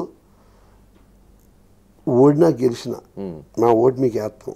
రేపు ఓడినా రేపు ఓడిపోవటం ఖాయం. ఓడిపోయిన తర్వాత మళ్ళీ కార్యకర్తలో నేను అనకండి. వాళ్ళందరి చేత ఉమ్మడిగా ఒట్టేయించుకున్నాను సార్. ఓడిపోయిన తర్వాత నా దారిని పోయేటట్టు. ఏంటి? అని చెప్పేసి వెళ్ళిపోయాను సార్. అది చెప్పారు ఇంకే. ఈ రకంగా నెక్స్ట్ పెట్టరంటే కదలదురా. ఇప్పుడు ఇవాళ పెట్టాడు లైబ్రరీ ఇరికిపోతావు నా మాట ఏంటంటే లేదు నాన్న మాట ఇచ్చాను. నూటి నూరు పాలు కానీ ఓడిపోతా అసలా? అంటే నూటి నూరు పాలు ఓడిపోతాను నాన్న. నేను అహంకారం కాదు నాన్న. ఓడిపోయాక ఇంటికి వస్తాను. అర్ధంతరంగా జీవితాంతరం నన్ను వదిలిపెట్టిపోయారంటారు. నాకు ఛాన్స్ ఇవ్వండి సరే కానివ్వని ఒప్పుకోపోయినా వదిలేశారు ఇంకా అసహించుకుని. వెళ్తే రేపు పోలింగ్ ఉన్నాను కదా సార్ ఇవాళ వచ్చారు రాచపట్నం సార్ గ్రామంలో ఉన్నాను సార్. వచ్చి మా మా సీను వాళ్ళ పెద్దని అందరూ బాగా స్నేహం సార్ వీళ్ళకి. వాడు ఏం చేశారంటే బాబా ఎలక్షను రేపు అయిపోతుంది కదా పోలింగ్ అయిపోతుంది కదా అయిపోయాక మనం ఇంటికి వెళ్ళిపోదామమ్మా అన్నారు అంటే కౌంటింగ్ ఉంటుంది కదా అని కౌంటింగ్తో మనకేం పనమ్మా? ఎవడోడు గెలుస్తాడు మనం వెళ్ళిపోదామమ్మా అది రిజల్ట్ చెబుతారు కదా అమ్మా అని బతిమలాడు. అలా కాదు నాన్న కౌంటింగ్ అయ్యాకుండా అలా ధర్మం నేను అన్నాను. అంటే అన్నారు ఏమన్నా ఓడిపోతే ఆత్మహత్య చేసుకోద్దురా ఒక్క మాట ఇరా అని కాగలించుకుని చండి ఏడ్చేసి ఎక్కెక్కి ఏడ్చేసి దయచేసి ఆత్మహత్య చేసుకోకమ్మా. నేను బతుకున్నంతగా నీకు ఏ లోటు రానివ్వను ఈ రాజకీయాలు మనకు వద్దంటే పెట్టావు. ఈ గెలిపోవడంతో పని లేదు. ఒక్క ఒట్టేసి ఆత్మహత్య చేసుకుని ఒట్టేయి వెళ్ళిపోతా అన్నారు. నేను అటువంటి పిరికి మనిషిని కాదు నేను. నేను గౌరవిస్తాను. అవతల గెలిచిన గౌరవించి స్పోర్ట్స్ మ్యాన్ నేను. నేను అథ్లెటిక్ స్పోర్ట్స్ మ్యాన్ని ఐదారు వందల సర్టిఫికేట్లు ఉన్నాయి ఆటలో ఎప్పుడు గెలిపోవటంలో ఏడుపు లేని మనిషిని నేను. కాబట్టి మీరు ఏమి నిస్సందేహంగా ఉండండి మా నాన్న హ్యాపీగా వచ్చేస్తాను అన్నాను దైవికంగా నలభై ఆరు ఓట్లతో గెలిచాను సార్. ఏంటి? అప్పుడు చిన్న నలభై ఆరు ఓట్లు సార్. అప్పుడు నీలం సంజయ్ రెడ్డి అన్నాడు రాజకీయాల్లో యాభై ఒకటి అంటే వందరా? నలభై తొమ్మిది అంటే సున్నారా. డిస్టింక్ట్లు ఫస్ట్ క్లాస్లు ఉండవరా ఇందులో? అని ఎవడో అన్నాడు. ఏం నేరు గెలిచాడు నేరు అంటే నీకేం తెలుసురా? యాభై ఒకటి అని సంజయ్ రెడ్డి గారు ఆ పెద్ద మనిషి చెప్పారు. నామే ఇష్టం లేనివాడు అన్నాడు. నేరు గెలిచాడు సార్ అని. నేరు అంటే ఎదురా రాజకీయాలు నీకేం తెలుసు? ఆ కుర్రోడు వాళ్ళు ఇండిపెండెంట్ గెలిచాడు సంతోషిపోయి ఎడుతా వెంటనే తిట్టారండి. రాష్ట్రపతి హోదాలో. అలా ఇన్ని రాజకీయాలు కావాలని ఏది యాక్సిడెంటల్గా వచ్చాను సార్? కానీ రాజుల కుటుంబాల్లో తండ్రి అందుటూ మీది ఆ జమీందారీ పరంపర లాంటిది. మీ తాతగారు కొన్ని వందల ఎకరాలు ఎన్ని వందల ఎకరాలు మా ఫా మా father PCC member nineteen thirty మీ సిక్స్ తాతగారికి ఎంత ఉంటుంది? మా తాతగారికి వెయ్యి రెండు వేల ఎకరం ఉంటుంది. అంటే మా తాత మాకు వంద ఎకరం. మాకు వంద ఎకరం ఉండేది సార్. మా. ఉంటుందిగా? మీ నాన్న దగ్గరికి వచ్చినప్పటికి? మీ నాన్నగారి దగ్గరికి వచ్చినప్పుడు తగ్గిందా? మా నాన్న దగ్గరికి ఉందండి అంతకుముందు ఎక్కువ ఉండేది కదా? అది అన్నదమ్ములు నలుగురు ఉండేవారు కదండి. మా నాన్న వాటాకి మా తాతయ్య ఇచ్చింది వంద ఎకరాలండి. సరే అంటే రాజుల్లో మీ పెద్ద కుటుంబాలే కదా? పెద్ద కుటుంబం అండి. రైతు కుటుంబం కొడుకు కాళ్ళు తండ్రి పట్టుకోవటం అనేది అపచారం కదా? అపచారం ఏంటంటే నా పదపిచ్చ అంత ఎక్కువైపోయిందని అప్పుడైనా పట్టుకుంటే పదవి వ్యామోహం తెలియడం కాదు సార్. ఇప్పుడు కూడా తిరుపతి దేవస్థానం చైర్మన్ విషయంలో ఎక్కడ ఎవరిని ఇబ్బంది పెట్టలేదు సార్. మేడంని ఎప్పుడు అడగలేదు సార్. మీరు ఎట్లా వచ్చింది? మేడం ఇచ్చింది సార్. అదే ఆశ్చర్యం సార్. రెండోసారి ఫస్ట్ టైం అసలు నాకు ఓకే లేదు సార్. ఏ మీడియాలోని నేను నేను నా సీన్లో లేను కదా సార్. ప్రయత్నం చేసినట్టు ఏదో రాబోయే వాళ్ళు అని అనుకుంటారు కదా సార్. ఎక్కడా లేదు సార్. అమెరికా నుంచి ఆవిడ ఆదేశాలు ఇచ్చి కిరణ్ కుమార్ రెడ్డి గారి ద్వారా నాకు చేయించి ఫస్ట్ టైం కూడా నాకు తెలియదు సార్. ఆవిడ చేసిన తర్వాత కొంత రెండు మాసాలు పోయాక తెలిసింది. థర్డ్ మంత్లోనే ఎప్పుడు మేడం చెప్పాను madam I never knew I never met you madam I came to knew by source a person చెప్పాడో నాకు చెప్పాడు అనమాట బయట చెప్పటం లేదు Okay. That man told me నీకు ఎలా వచ్చిందో తెలుసా? అన్నాడు. ఏం తెలుసు మన ఇలా ఇచ్చారు కదా అంటే లేదు అమెరికా నుంచి సోనియా గాంధీ గారి మెసేజ్ వస్తే నీకు వచ్చిందయా? అన్నారండి అప్పుడు నేను ఇది మేడం నాకు ఇలా అడగకుండా ఎలా ఇచ్చారమ్మా? నేను ఎప్పుడు నువ్వు అప్రోచ్ అవ్వలేదు. ఇండైరెక్ట్గా కూడా approach అవ్వలేదంటే it is my proposal you are needed there to serve the right person Kiran Kumar Reddy గారి దగ్గరికి వెళ్ళినప్పుడు కూడా కిరణ్ కుమార్ కిరణ్ కుమార్ రెడ్డి గారి దగ్గర కలిసినప్పుడు కూడా నాకే ఎలా ఇచ్చారు సార్? చాలా ఆశ్చర్యంగా ఉంది. నాకని అన్నం ఉండేది నేను మా వెళ్ళామండి. వెళ్తే అన్నాను కిరణ్ కుమార్ రెడ్డి గారిని సార్ ఇటువంటి కాంపిటేటివ్ పోస్ట్కి ఏ బలం లేనివాడిని బలహీనుడిని నాలాంటి ఎలా- ఎలా ఇచ్చారు సార్? మీకు ఎలా సాధ్యమైంది సార్ మీకు? లౌక్యంతో పట్టేశారని చెప్పి అనుకుంటున్నారు అది ప్రజాస్వామ్యం ఎవరిష్టం ఉంటే అనుకోవచ్చు కదా సార్. ఆవిడకి ఆలోచన వచ్చి ఆవిడే ఆవిడకి ఎవరు would have got some information, report Okay. తెచ్చుకుని ఉండొచ్చు ఇప్పుడు ఈ మాట ఎందుకంటాను ఆయన దగ్గర నేను? ఈ దగ్గర ఎందుకంటాను అయ్యా నాలంటోడికి ఎలా ఇచ్చావు? కుల బలం గట్టిగా లేదు లేకపోతే ధనబలం లేదు. పొలిటికల్గా నలుగురు ఎమ్మెల్యేలు కొడగట్టుకునే కెపాసిటీ లేదు. అవును. నాకెలా ఇచ్చారు సార్ అన్నాను. అంటే who said you are not strong. Your honesty is your strength same అదే మాట ఐఎమ్ గ్రేట్ఫుల్ టీమ్ సార్. ఆ రకంగా మాట్లాడిన తర్వా- తర్వాత ఒక పెద్ద మనిషి చెప్తే అప్పుడు థ్యాంక్స్ చెప్పాను. ఎస్ ఐ ప్రపోజ్ యూ అని. ఇప్పుడు కూడా ఐ డింట్ ఆస్కర్ అదే. ఇప్పుడు కూడా కూడా బట్ రెండోసారికి మీకు ఇప్పటి రాష్ట్రపతి ప్రణబ్ ముఖర్జీ సహాయం చేశాడంట నిజమేనా కాదా? సార్ గతంలో నేను చైర్మన్ అయినప్పుడు ప్రతిభా పాటిల్ ప్రెసిడెంట్ గారు నాకు ఇప్పించారని. ఎందుకంటే ఇది మొత్తం టర్మ్ వన్ ఇయర్కి. లాస్ట్ టైం వన్ ఇయర్ వచ్చినప్పుడు ప్రతిభా పాటిల్ గారు ఒక భోజనశాల ఓపెన్ చేయడానికి నేను ఆమె రిక్వెస్ట్ చేస్తే ఆమె వచ్చారు. అది మా కజన్ అనంతకోటి రాజు గారు ముప్పై కోట్లు డొనేషన్ ఇచ్చారు. ఆ బిల్డింగ్ ఓపెనింగ్కి నన్ను అడిగితే నేను స్వయంగా అడిగితే ఒప్పుకుందాను ఆ కారణంగా చైర్మన్ అవ్వకముందు ఆవిడని రప్పించుకున్నాను. తర్వాత చైర్మన్ వచ్చింది కాబట్టి ఆమె చెబితే వచ్చిందనే భావం. చాలా ఎక్కువగా వచ్చింది. నేను ఎప్పుడు కూడా సార్ ప్రతి మాటకి స్పందించి మాట్లాడను సార్. ఎందుకంటే గుమ్మడికాయలు దొంగ అంటే ఒళ్ళు తడుకున్నట్టు నేను దాన్ని ప్రశాంతంగా జీర్ణించుకుంటాను తప్ప మీరు ఇవాళ భగవంతు ఇలా ఓపెన్ హార్ట్ అనమాల నాకు మీరు ఛాన్స్ ఇచ్చారు మాట్లాడుతుంటాను ఇది ఎక్కడ ఐ డిడ్ నాట్ డిస్క్లోజ్. మీరు అన్నారు కాబట్టి. ఇప్పుడు ప్రణబ్ ప్రణబ్ ముఖర్జీ గారిది కూడా ఐ స్వేర్ భగవంతు వెంకటేశ్వర స్వామి సాక్షిగా ఆయన దగ్గరికి వెళ్ళి నాకు ఈ సాయం కావాలని కోరలేదు. ఓకే. ఏ? ఆయన కూడా అసలు నాకు రాదు అనేది ఆలోచన ఆ సబ్జెక్ట్ రాలే. మీ ఒక్క మాట బట్టి జరిగింది ఏంటంటే ఫస్ట్ ఎలక్షన్ అయిన తర్వాత రాజు నేను తిరుపతి వస్తాను. ఫస్ట్ విజిట్ అటు రావాలనుకుంటున్నాను. ఒక ఓపెనింగ్ అది పెట్టుకుంటే ఐఎమ్ గోయింగ్ టు జాయిన్ అని చెప్పి అన్నారు. ఫస్ట్ విజిట్ పెట్టుకోవాలని. అప్పుడు నేను బాలాజీ టెంపుల్ ఐదారు సంవత్సరాల కింద స్టార్ట్ చేసిన తిరుపతిలో ఉంది. కంప్లీట్ చేయలేదు. నేను కంప్లీట్ చేసుకున్నాను. తిరుపతిలో కాదు ఇక్కడ ఢిల్లీలో. ఢిల్లీలో. ఏం తిరుపతి వద్దాం అనుకుంటున్నారు. ఆయన ఢిల్లీలో ఐదేళ్ళ కింద స్టార్ట్ చేసిన టెంపుల్ అవ్వలేదు. కంప్లీట్ చేశాను. ప్లీజ్ ఇనాగ్రేట్ బాలాజీ టెంపుల్కి ఇనాగ్రేట్ చేయండి sir to start with Balaji అన్న no Balaji just Tirumala only Tirumala will come let me మా prayers I want to go and ఆ నా ప్రేయర్స్ నా స్వామి దగ్గర చెప్పుకోవాలి. అంతే నో నో అదర్ ప్రోగ్రామ్ అన్నారండి అన్న తర్వాత అలాగే అన్న ఫిక్స్ చేశారు వచ్చారండి దాని ముందు మాట్లాడతా when you want me to come అన్నారు. రాష్ట్రపతి భవన్లో. హండ్రెడ్కి మామూలుగా sir at the address sir you can come you said you are prepare to come. No no exactly the time what you expect me to come అంటే sir I never told you when to come. But since you told me now now I'm telling you my term will be over by twenty fifth of this month. Before that I did not tell my term and all that. Indirectly it may hint you. I need your help for which I did not into since you insisted about the program I told you but still sir I will not bother అంటే why should anybody put a word to you your work your sincerity will give extension ఇదే మాట hmm. రాష్ట్రపతిగా. Hmm. కూర్చులు ఎదురు బదులు కూర్చుంది. అంత మంచి తప్ప hmm. ఇండైరెక్ట్గా నాకు ఇది కానీ ఐ నీడ్ యువర్ బ్లెస్సింగ్స్ అని కానీ ఆయన ఇబ్బంది మీరు అడగలే కానీ ఇండైరెక్ట్గా చెప్పారు. నేను ఇక్కడ నేను చెప్పలేదు కదా. నా టర్మ్ అయిపోతుందని చెప్పారు? ఉండొచ్చు కూడా.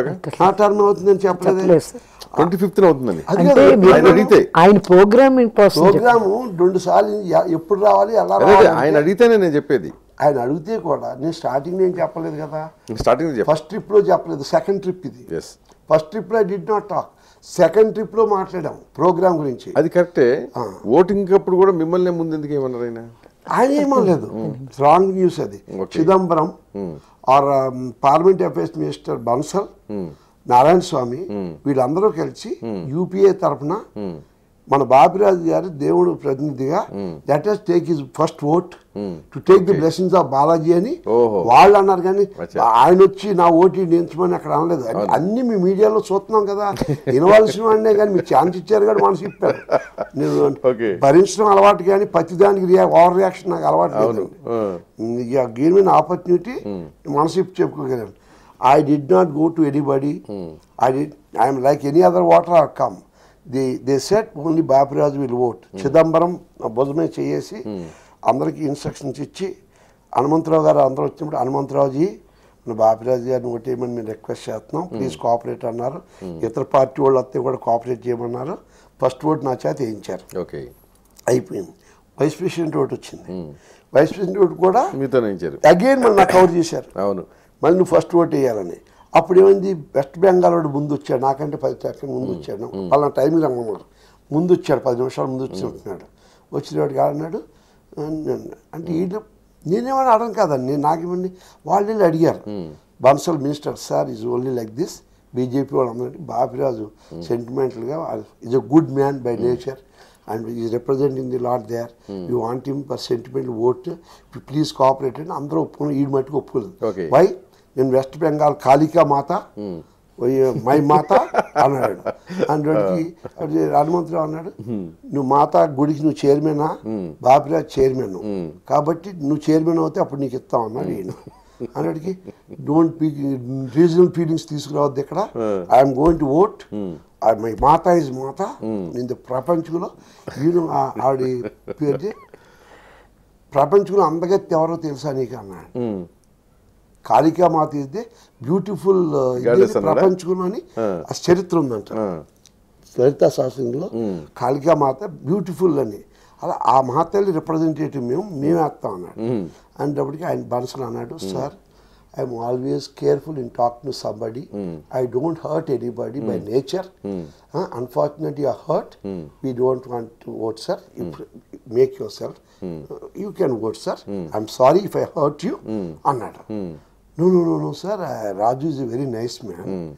Yeah, he didn't open his mouth so far. Huh? Something somebody is talking, I reacted.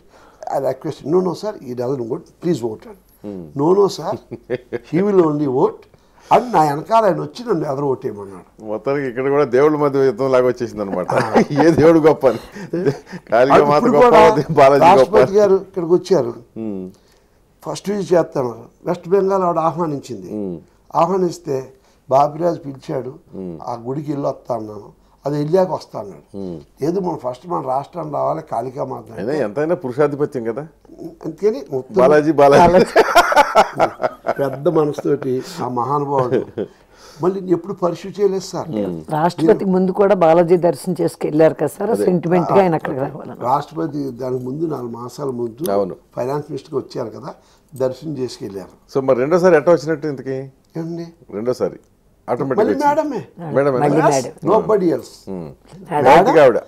Chief minister cooperation hundred he was not పైగా సీఎం అంటే ఇంకో మాట సీఎం పార్టీలో మీ మేడం చెప్పాక ఇంకా నో అనే వాళ్ళు ఎవరు ఉంటారు? ఉండరు.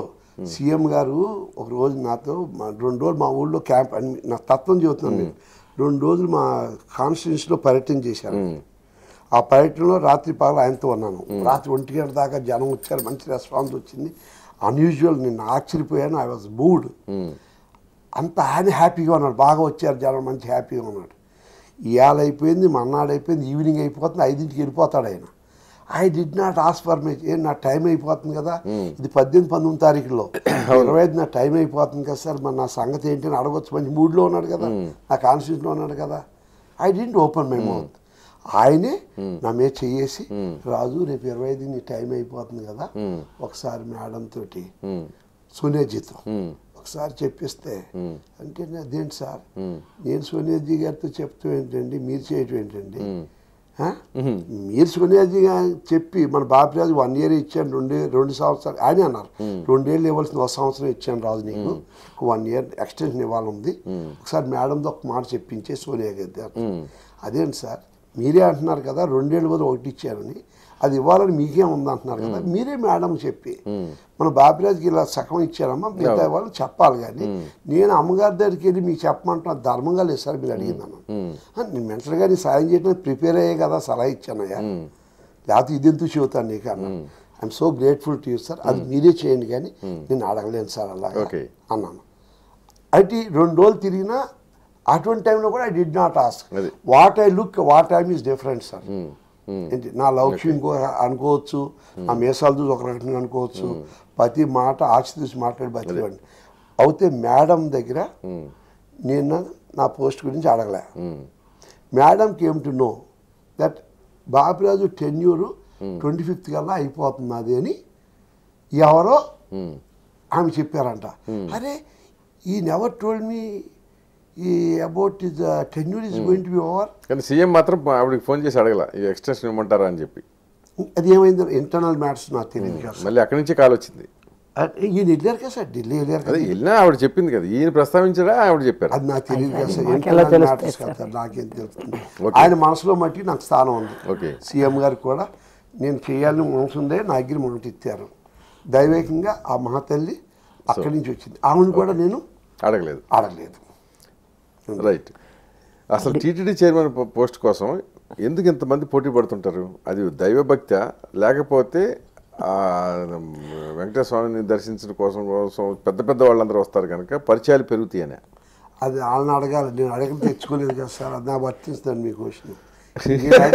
మేము మట్టికి దేవుడిని దేవుడు అంటే భక్తితోటి మేము వెళ్ళామండి వాళ్ళు ఎందుకు వెళ్ళారు అన్నది వారిని అడగాలి. అది అనుకున్నాను మన భక్తితో వెళ్ళటం వేరు సంగతి. మనం అడగలేదు కదా.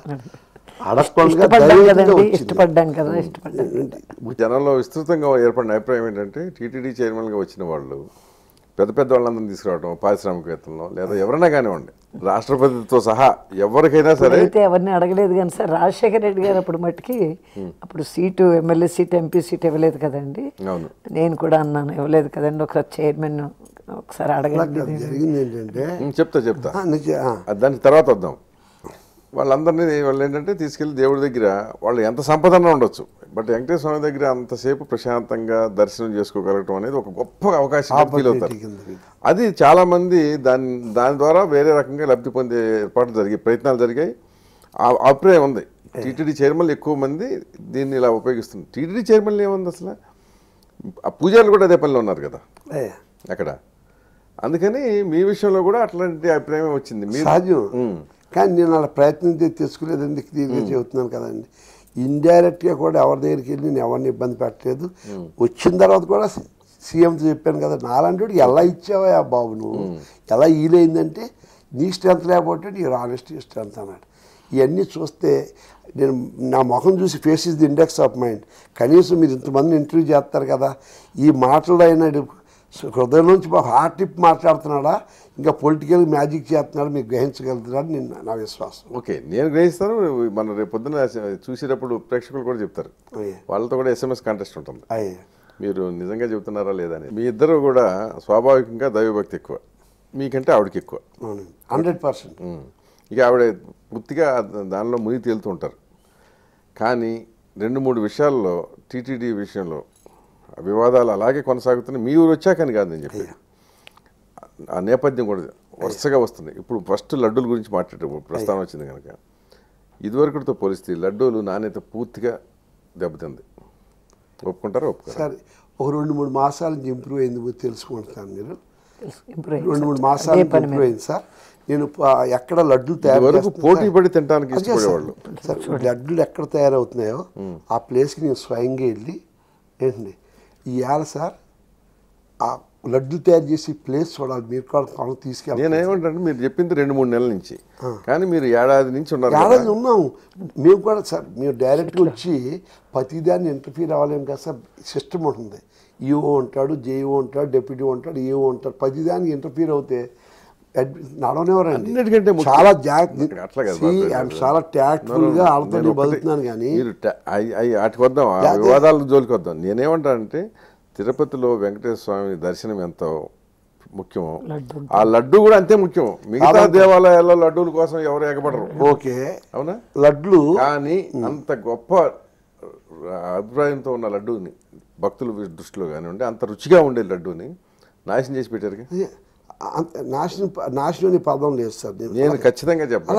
ఎందుకంటున్నానంటే సార్, నేనే సార్. చెప్తాను. ఇగో నాకు ఎప్పుడు కూడా నేను డయాబెటిక్ పేషెంట్ అయి ఉండి కూడా తిరుపతి లడ్డు అయితే తినేవాడిని నేను ఇదివరకు. ఇప్పుడు ఈ మధ్య తినడం మానేశాను. ఎందుకంటే తిరుపతి కావట్లేదు అసలు. దానికి ఆ- ఫ్లేవర్ రావట్లేదు ఆ ఫ్లేవరు ఉన్నది మాట అంటే తగ్గిన మాట వాళ్ళు మీలాంటి వాళ్ళు చెప్తేనే కదా నేను ఇంటర్ఫీర్ అయింది. పదిది నేను చేయకుండా వాళ్ళు దానికి ఏం కావాలి?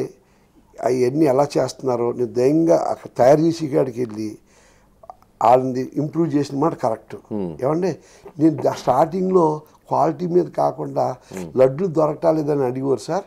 దానికి నాలుగు లక్షల లడ్లు ఏంటి? చెమ్మ చెమ్మవి కాకుండా డ్రైయర్స్తో సహా డ్రై అయిపోయిన తర్వాత కూడా కొలతలకు సరిపోయేటట్టుగా కాన్సన్ట్రేట్ చేశాను సార్. ఇప్పుడు స్కేర్ సిటీ అనేది లడ్డు లేకుండా పూర్తి చేయగలిగాను సార్. అది క్వాలిటీ తక్కువగా ఉందని చెప్పి మీలాంటి వాళ్ళు అక్కడ చెప్తా ఉంటే లోపలికి వెళ్ళి అడిగి చేసుకుంటున్నాను సార్. ఇప్పుడు క్వాలిటీ బాగా ఇంప్రూవ్ అయింది సార్. ఏమండి? ఇప్పుడు క్లీన్గా అక్కడ ఇది వచ్చింది అది వచ్చింది అంటున్నారు కదా సార్.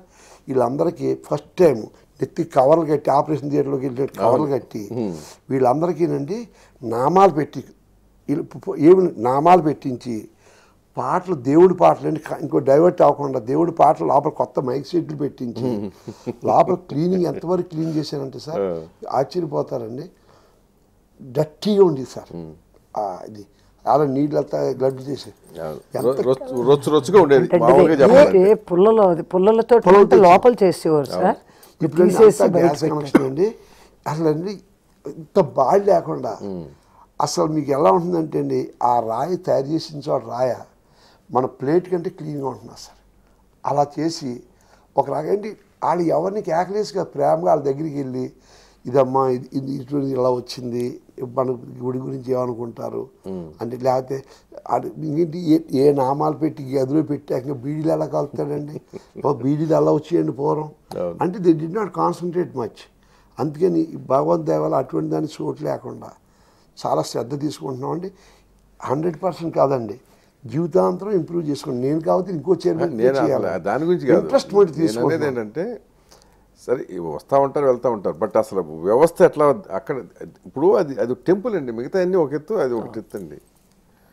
దేవుడు అంటున్నారు నమ్ముతున్నారు పూజిస్తున్నారు. ఆ దేవుడిని అమ్మడానికి ప్రయత్నం చేసేస్తే అది అన్యాయం కదా అసలు అది?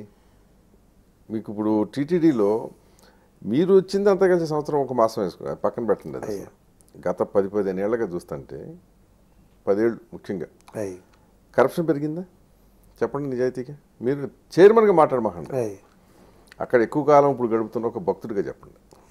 అండి కరప్షన్ అనేది అంకిత భావం తగ్గిందా? ఎవరిది ఈ సిబ్బందిలో. అంకిత భావం తగ్గింది కదా? సార్ ఇప్పుడు నేను చెబుతున్నానండి. మా సిబ్బందిలో చాలా మర్యాదగా మాట్లాడటం చాలా ఇంప్రూవ్ అయింది సార్.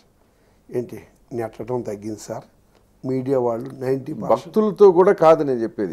అసలు ఫస్ట్ ఆఫ్ ఆల్ అక్కడ ఉండేవాడికి అక్కడ పనిచేసేవాడు వాడికి జీతం రావడానికి కానీ వాడికి బతకడానికి కానీ ఎవరు కారణం? దేవుడు. దేవుడే? అసలు ఆ దేవుడి మీదే భక్తి లేనట్టుగా వ్యవహరించే వాళ్ళని? ఈ రోజు గుర్తు చేస్తారని దేవుడు సొమ్ము తింటున్నారు మీరు. మనకి గవర్నమెంట్ ఆఫ్ ఏపీ డబ్బు కాదు గవర్నమెంట్ ఆఫ్ ఇండియా డబ్బు కాదు. మన భక్తులు వేలాది చెప్పి వేలాది కిలోమీటర్ల నుంచి వచ్చినా కూడా వాడి సరైన దర్శనం ఇప్పించలేకపోతున్నాం సరైన ఫుడ్ పెట్టలేకపోతున్నాం సరైన అకామిడేషన్ ఇవ్వలేకపోతున్నాం. మన ప్రవర్తనలో కూడా బాధ పెడతాం. ఇన్ని భరించి వాళ్ళు డబ్బులు వేస్తాం ఉంటే ఆ డబ్బులు మన తీసుకుంటే- బతిమాలటం ఏంటంట నేను. చర్య ఎందుకు తీసుకోరంటున్నా? అయ్యా. అసలు బతిమాలటం ఏంటి? సార్ అలా కాదు సార్. చర్య మొన్న డెమోక్రసీ చెప్తా. ఐఎమ్ టెలింగ్ యూ సార్ నిన్ను సైకలాజికల్గా వాళ్ళతో స్నేహితుడిగా ఉండి వాళ్ళు మార్చుకుంటున్నాను తప్ప డైరెక్ట్గా డిక్లేర్ చేస్తే సార్ ఒక స్ట్రైక్ చేస్తే ఏమవుతుంది? ఏమవుతుందంటే నేను చెప్పలేను. ఉన్న టైం అంతా దానికి పోతుందండి. ఇప్పుడు దేవుడి కంటే ట్రేడ్ యూనియన్ గొప్పదయ్యేటట్టయితే అలా అంటాలే సార్. మరి నేను చెబుతున్నాను ఇప్పుడు నందకుమాన్ బిల్డింగ్ ఉందండి. ఫైవ్ ఇయర్స్ బ్యాక్ ఫౌండేషన్ వేశారండి రాజశేఖర రెడ్డి గారు. నేను వెళ్ళేటప్పటికి ట్వంటీ పర్సెంట్ అయిందండి. నేను చైర్మన్ అయినప్పటికీ. ఈ నైన్ మంత్స్లో నేను ఎయిటీ పర్సెంట్ బిల్డింగ్ కట్టి పెట్టానండి ఎలా చేశానండి వాళ్ళు కేకలేదండి ఇది ఇన్ని అకామిడేషన్ ఇబ్బంది ఉండగా థర్టీ ఫైవ్ క్రోర్స్ మీకు శాంక్షన్ చేసి డబ్బు ఉండగా ఐదేళ్ళు లేటితే ఎస్కలేషన్ రేట్ ఎవడెత్తాడు? సంవత్సరానికి ఇరవై పర్సెంట్ పెరుగుతుంది కదా అని చెప్పేసి కంట్రాక్ట్ని పక్కన పెట్టి యూ టేక్ ఎప్ ఛాలెంజ్ నా బర్త్డే జూన్ ట్వంటీ ఫిఫ్త్ ఆనాటికి మీరు తయారు చేసి పెట్టినాను అన్నాను. ట్వంటీ ఫిఫ్త్ కల్లా మూడు వందల నలభై గదులది రెండు మీ శైలి వేరు కావచ్చు బాబురాజ్ గారు. I ఒప్పుకుంటా. can't be. I ఇప్పుడు మీరు చూస్తే డిక్టేటర్ లాగా ఉండే ఐ కాదు మీరు అట్లా ఉండరు. మీ మాట తీరు వేరు మీ మనుషులతో పని చేయించుకునే విధానం అవన్నీ నాకు తెలుసు కరెక్టే. నేను అనేది ఏంటంటే ఈ మధ్య ఒక ఎగ్జాంపుల్ చెప్తా. టీటీడీ ఎంప్లాయీస్ అందరినీ సమావేశపరిచి అన్యమత ప్రచారం చేయొద్దు అని చెప్పి ప్రమాణం చేయించాడు. ఈ ఓ అసలు ప్రమాణం చేయించడం ఏంటి? అసలు అన్యమత ప్రచారం చేయటం నేరము. అయ్యా. అవునా కాదా? అవునండి. మీరు నేరం చేయొద్దని బతిమాలటం ఏంటంటే అసలు? ప్రమాణాలు చేయించడం ఏంటి? ఏం సందేశాలు ఇస్తున్నారు అవునా కదా? చెప్పండి. యాక్షనే తీసుకోవాలని అంతే. ఇప్పుడు మొత్తంగా అక్కడ జరుగుతున్న దానివల్ల ఆ దైవ వ్యవస్థ మీద నమ్మకం పోయే పరిస్థితి కల్పిస్తున్నారు కదా? అన్ఫార్చునేట్ అండి. అది నేను అడిగేది. నాకు నాకు సంబంధించింది ఒకటే ప్రశ్న. భక్తులు ఇప్పుడు దేవుడు ఉన్నాడా లేడా ఇవన్నీ పక్క కాదు అక్కడ. సెకండరీ అది. తర్వాత విషయం దేవుడిని నమ్మేవాళ్ళు అనేకం. వాళ్ళకి వచ్చే సందేహం ఇది. వాస్తవం కాదా? ఎందుకు ఇంత వీక్ అయిపోతుంది సిస్టమ్ అనేది? దాన్ని చర్య తీసుకోవాల్సిన వాడు బతిమాలటం ఏంటి? ఒరే బాబు పని చేయరా అంటాం. ఏంటి అసలు? వేరే మతం ప్రచారం చేయమాకరా? ఏంటి అవసరం? లేదండి అవసరం లేదండి. కదా? అవసరం లేదండి. ఐ అగ్రీ విత్ యూ డెఫినెట్గా ఆ లైన్లోనే వెళ్తామండి డౌట్ ఎవడన్నా చేశారనుకోండి తీసేదలు. అదే చెప్పారు ఆ రోజు కూడా చెప్పారు the same day I told them I was in Delhi vigilance వాళ్ళు ఫోన్ చేస్తే చెప్పారు. సస్పెండ్ హిమ్ ఫస్ట్ నెక్స్ట్ ఏదైనా మీ ప్రొసీజర్ మీ యాక్ట్ అయిన తర్వాత ఫస్ట్ సస్పెండ్ హిమ్ అని చెప్పాను. ఢిల్లీలో ఉన్నారండి రోజు. దాని immediately they have taken action against him immediately ఫర్దర్గా మిగతా మీ ప్రమాణ ప్రధాన పూజారి ఉన్నాడు అనుకోండి. అయ్యా. గుడిలో ఆయన రమణ దీక్షితులు దేవుడి దగ్గర కంటే వేరే వాళ్ళ దగ్గర ఎక్కువ ఉంటాడు. ప్రైవేట్ వ్యక్తుల కోసం యజ్ఞాలు చేస్తూ ఉంటాడు. లేదా పెద్ద పెద్ద విఐపీలు వస్తే అక్కడికి వెళ్ళి ఏంటది? ఆశీర్వచనం ఇస్తూ ఉంటాడు. అని మీడియా ద్వారా చూశాను. తక్కువగా ఆయన ఎక్కువగా నేను గుడిలో చూడటం తప్ప బయట పెద్ద కాలం ఉండండి గుడిలో చాలా తక్కువ సేపు ఉంటాడు కదా. ఉన్న కొంచెం ఉన్న అభిషేకం ఇప్పుడు కూడా ఆయనే ఉన్నారండి. ఇక మరీ అభిషేకం అప్పుడు కూడా లేకుండా అంటే అభిషేకం ఆయనే కంటిన్యూ రాస్తారు డ్యూటీ మీద వేస్తూ ఉంటారండి. ఏమైనా మీడియాలో చూసామంటే ఆయన కూడా అది పొరపాటు అని కూడా మా యువ గారు వాళ్ళు కూడా కూడా చెప్పారు కదండి వివరం చెప్పారు కదా sir. I don't think now is going అని అనుకుంటారు దీనికి ఏమన్నా నాలెడ్జ్ లేకుండా ఏమో తప్ప అంత ఎంటర్టైన్ చేస్తారు? కాదండి నేను అడిగేది ఏంటంటే ఆ వెంకటేశ్వర స్వామి చుట్టూ ఉండే వాళ్ళకి వెంకటేశ్వర స్వామి మీద నమ్మకం లేకుండా ప్రవర్తిస్తే ఎట్లా అంటున్నా? కొన్ని వేల కిలోమీటర్ల నుంచి వచ్చే భక్తులు ఉంటున్నారు వందల కిలోమీటర్లు నడిచి వచ్చే వాళ్ళు ఉంటారు పాపం. వాళ్ళు కేవలం దేవుడి మీద నమ్మకంతో వస్తున్నారు. కానీ ఆ ఆ దేవుడిని సొమ్ము తింటూ అక్కడ పనిచేస్తున్న వాళ్ళకి దేవుడి మీద నమ్మకం లేకుండా ఎందుకు ఇంకా నాకు అర్థం కాదు అది మీరు అన్నట్టు యాక్షన్లో మట్టి పర్ఫెక్ట్గా తీసుకునే అవసరం ఉంది. అక్కడ కొద్ది నెగ్లెక్ట్ చేస్తున్నాము డెఫినెట్లీ విల్ బి ఇన్స్పైర్డ్ ఈ టూ ఇయర్స్ని దాన్ని పటిష్టంగా ఇంకో రకమైన ఫ్యూచర్ సంగతి మాకు అనవసరం. ఉన్న టూ ఇయర్స్ని ఎంత ఎఫెక్టివ్ చేయాలి? డెఫినెట్ మీ వర్డ్ని మట్టికి నేను గుర్తుంచుకుంటాను.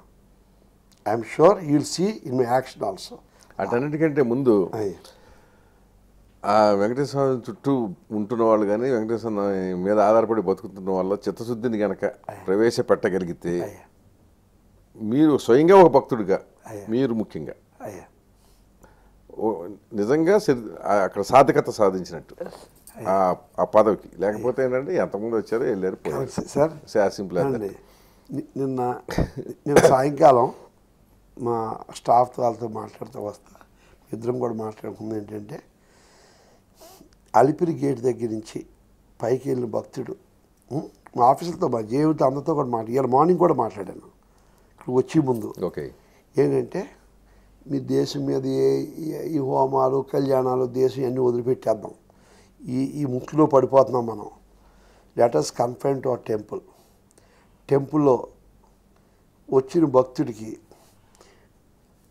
అక్కడ అకామిడేషన్లో కానీ మన ప్రవర్తనలో కానీ ఫుడ్లో కానీ దర్శన విషయంలో కానీ మ్యాక్సిమం చేసి ఏది ఎక్కడ తప్పులున్నా రెక్టిఫై చేసుకుంటూ మన భక్తి శ్రద్ధలో చేసుకుంటాం ప్రారంభించాలి భక్తులు వాళ్ళ కళ్ళలో హ్యాపీనెస్ అలిపిరి ఎక్కినవాడు దిగినప్పుడు మొహం చూడాలి. దిగినవాడు నవ్వుతే మన కార్యక్రమం బాగా చేసినట్టు ఎవరి సర్టిఫికేట్ మనకు వద్దు నిన్నంతా అదే డిస్కషన్ యథార్థంగా మీరు ఉన్న మాటలు నిన్న ఇది మాట్లాడుకుంది ఇది.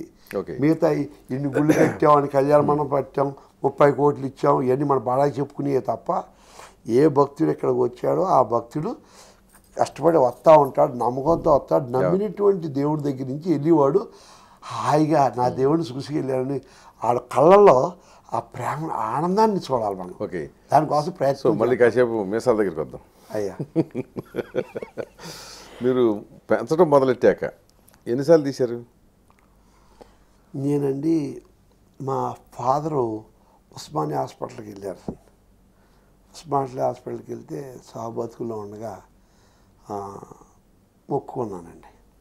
ఏ ఉమ్, ఆ, దాని ముందు ఇప్పుడు ఒకసారి ఎస్ఎల్సి పరీక్ష టైంలో గెలు పాస్ అవుతానని కాదండి. మదనపల్లి అది తిరిగి మా మా ఫ్యామిలీతో అందరితో వెళ్ళిన తర్వాత వచ్చేటప్పుడు తిరుపతి వస్తున్నాయి రిజల్ట్స్ ఏమో తర్వాత వస్తాయి. దీని తర్వాత వచ్చాక మన రిజల్ట్స్ వచ్చాక గీయించుకుంటుంటే రిజల్ట్ రాకముందే అక్కడ గుండు గీయించుకుని వచ్చేసాను. తర్వాత పాస్ అయ్యాను అనుకోండి. ఎస్ఎల్సి హెచ్ఎస్సి హైదరాబాద్ అండి. ఏమండి? అంతే. అది ఫస్ట్ లైఫ్లో ఫస్ట్ Okay, first ది. తర్వాత ఒకటి రెండు సార్లు మా మా ఫాదర్ది హాస్పిటల్ బయటకు వచ్చాక సెకండ్ టైం ఒక ఇంట్రెస్టింగ్ స్టోరీ ఏంటంటే సార్ ఇందిరాగాంధీ చిక్కమంగళూరు ఎలక్షన్కి వెళ్ళింది సార్. చిక్కమంగళూరు ఎలక్షన్కి వెళ్ళినప్పుడు క్యాంపెయిన్ నేను బోటా సింగ్ గారు ఆవిడ క్యాంపెయిన్లో ఉన్నాం సార్. అన్నీ అయిపోయిన తర్వాత ఆవిడ గెలిచిన తర్వాత నేను పెత్తనతిలో వచ్చి గుండె గీయించుకుంటాను మిసల్ వెళ్ళాను సార్. వెళ్ళిన వెంటనే అతను సెక్రటరీ అండి అంటే అసోసియేషన్ మంగళకి అతను ఏం చేశాడంటే రాజుగారు మీ మీసాలు తీయటానికి నా చేయిలు ఆడతలేదయా రోజు అదే పని మాది. కానీ నీ మీసమే చేయటానికి మనస్కరించడం లేదు. నువ్వు ఏం చేసినా ఈ మీసాలు మొక్కకాయా అలా ఉంచుకో అన్నాడు. ఆ, నేను సర్లే ఈ పట్టుకు మొక్కేశాను కదా. ఈ ఇందిరాగాంధీ. గెలిచినందుకు ఇంకా తర్వాత చూద్దామంటే ఇంకా ఆవిడ ప్రధానమంత్రి అయ్యాక గెయించుకుంటాను. ఆ గొడవలు ఆ ప్రధానమంత్రి అయ్యేది లేదు నువ్వు ఒరిగేది లేదు అన్నాడు. నా ఎదురు యాభై మంది ఉన్నారండి ఒంటిగా చేయలేదు. ఆవిడకి వెళ్ళేది గురిగించి పని లేదు నీకు ఆవిడ అయ్యేది లేదు. గొడవలు వెళ్ళి వెళ్తే పోనీ అని గీశాడు. నేను అన్నాను ఆవిడ ప్రధానమంత్రి అవుతుంది నీ చేతే నేను గుండు గీయించుకుంటాను మీసాలు తీసుకుంటాను. సరే అని నవ్వుకున్నాడు. సో అలా చూద్దామని నేను అవదంటున్నాను కదా చూడు అన్నాడు. సరిగ్గా ఆవిడ అయ్యిందండి. ప్రధానమంత్రి మళ్ళీ. అయిన తర్వాత ఆవిడ దగ్గరికి వెళ్ళి మళ్ళీ గీయించుకున్నాను సార్. ఓకే. ఏమండి? ఆ. నిజంగా గీయించుకున్నాను ఆవిడ నవలేసి వచ్చాడు సార్. ఇంకెప్పుడు మొక్కకాయ బాబు? ఆ. ఇటువంటి మొక్క వద్దు నాకు ఇష్టం లేదన్న ఏంటి? అని మరి రేర్ అనుకోండి రాజశేఖర రెడ్డి ఉన్నాడు. ఆయన మీటింగ్లో రెండు వేల నాలుగు అక్కడ మేము అతనితో క్యాంప్కి వెళ్ళాం సార్. డ్రాట్కి నేను ఒక్కనే ఆయన కూడా వెళ్ళానండి. మధ్యలో ఎవరైనా ఒకళ్ళిద్దరు వచ్చారు కానీ మొత్తం క్యాంప్ నేను ఒక్కడనే ఫాలో అయ్యానండి. సూట్ నెంబర్ వన్ నాడు టూ నేను పద్నాలుగు రోజులు తిరిగాను తిరుపతిలో మీటింగ్ జరుగుతుందండి. నామాలు కనపడుతున్నాయి. ఇందిరాగాంధీ అప్పుడు మొక్కాను కదా సార్ గుర్తొచ్చింది. నామాలదేవుడు ఎదురుగుండా కనపడుతున్నాడు. మొక్కకపోతే గర్వం అనుకుంటాడేమో. మొక్కితేనేమో చీప్గా ఉంటుందేమో వీడి దగ్గర. ఏదో నా క్యాబినెట్లో కోసం వస్తాను అనుకుంటున్నాడేమో. ఎలాగనో అలాగే ఆలోచించి చివరికి అన్నాను. ఇందిరాగాంధీ కథ పూర్వం జరిగింది చెప్తూ? నేను ఇప్పుడు వెంకటేశ్వర స్వామికి నేను మొక్కుకుంటున్నాను. రాజశేఖర రెడ్డి చీఫ్ మినిస్టర్ అవ్వాలని స్వామి ఎదురుడు కనపడినప్పుడు అడగపోతే అహంకారం అడుగుతున్నాను. అయితే కండిషన్ ఏంటంటే రాజశేఖర రెడ్డి క్యాబినెట్లో నేను మంత్రిగా ఉన్నాను. అనౌన్స్ చేశాను. మీ జ్యోతి పేపర్ చూడండి సార్. హైలైట్ వేసాడు దాన్ని. ఏంటి? ఏ ఇలా మీసం మీద పెట్టి వేశాడు మీ బొమ్మ నాది. ఇలా వేసి ఇలా బొక్కుకుంటూ ఈ మీసాన్ని ఏమో ఇచ్చేసినట్టుగా వేసి నేను ఆయన క్యాబినెట్లో పనిచేయను. అప్పుడు నా క్వాలిటీ విలువ. రేపు మంత్రి అవటానికి ముఖ్యానంటే అసలు ఎంత అదృష్టవంతులు ఆ మాట అంటాం. లేకపోతే ఇప్పటికి ఎక్కడ ఉండేవాళ్ళు? జైల్లో ఉండేవాళ్ళేమో. లేకపోతే సిబిఐ ఆఫీస్ చుట్టూ తిరుగుతుండేవాళ్ళేమో ఏమో అది వేరే సంగతి. నాకు తెలియదు కానీ నేను ఆయన క్యాబినెట్ మీ పేపర్లో చూడండి సార్. నేను అంటాం కాదు కదా. అనిపిస్తుంది అనిపిస్తుందా లేదా? చేరుంటే. ఏమో నన్ను అటువంటి పని చేయించేవాడు కాదేమో అండి. నాకు నేను మట్టిగా అన్నాను నేను క్యాబినెట్లోకి వెళ్ళలేకపోయాను. ఏంటండి? కానీ ఆయనే రానివ్వలేదు కదండి అదే ఆయన టికెట్ ఇవ్వలేదు టికెట్ ఇవ్వకపోతే క్యాబినెట్లోకి టికెట్ వెళ్తారు? ఆ, టికెట్ తర్వాత కూడా ఎమ్మెల్సీ అయ్యాను అనుకో. ఎమ్మెల్సీ ఎమ్మెల్యే మట్టికి నాకు సీట్ ఇవ్వలేదు సార్. అదే టికెట్ ఇవ్వలేదు. కానీ ఆయన కోసం మీసాలు మొక్కున్నారు. అయ్యాక రెండు మూడు సార్లు ఆయన గుర్తు చేశారు కూడా. అయ్యాక ఒక నెలకి ఏంటి బాపిరాజు ముక్కు తీసుకోమనేది అన్నట్టున్నారు మిమ్మల్ని. తెల్ల జుట్టు ఉంది కదా సార్. అర్జెంట్ తీసేరా బాబు ముక్కు తీర్చేరా నేను చూడలేకపోతున్నాను. అంటే జ్ఞాపకం చేసినట్టు ఉంటుంది మనం అదే అదే. ముక్కు తీయించమని ఆయన ఒకటి రెండు సార్లు కూడా గుర్తు చేశారు. మన ఈ- మన గవర్నర్గా ఉండి ఒకసారి అంటే మా ఎక్కడ మన ఈ ఇప్పుడు హోమ్ మినిస్టర్ ఉన్నారు కదా పబ్లిక్ సార్, లో అనౌన్స్ చేశారు కదా షిండే గారు ఒక రోజు వచ్చి వాట్ రాజశేఖర్ రెడ్డి. బాపిరాజు ఇది సచ్ ఎ స్మార్ట్ మిస్టాస్ ఈ confident is mistress for you you don't elevate him it's unfair కానీ ఆయన రాజశేఖర రెడ్డి కోసం మీరేమో మీసాలు మొక్కున్నారు.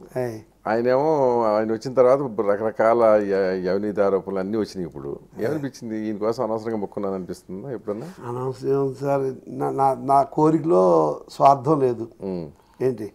మాకేం మా కాంగ్రెస్ పార్టీ ఒడిదుడిగా ఉంది. ఆ నాయకత్వంలో వస్తుందని నమ్మకం పెట్టుకున్నాను. ఏంటి ఆ పార్టీ ఇంట్రెస్ట్ మీద ఆయనే మన నాయకుడిగా ఉండాలనుకున్నాను. సత్యనారాయణరావు గారిని కూడా చెప్పాను.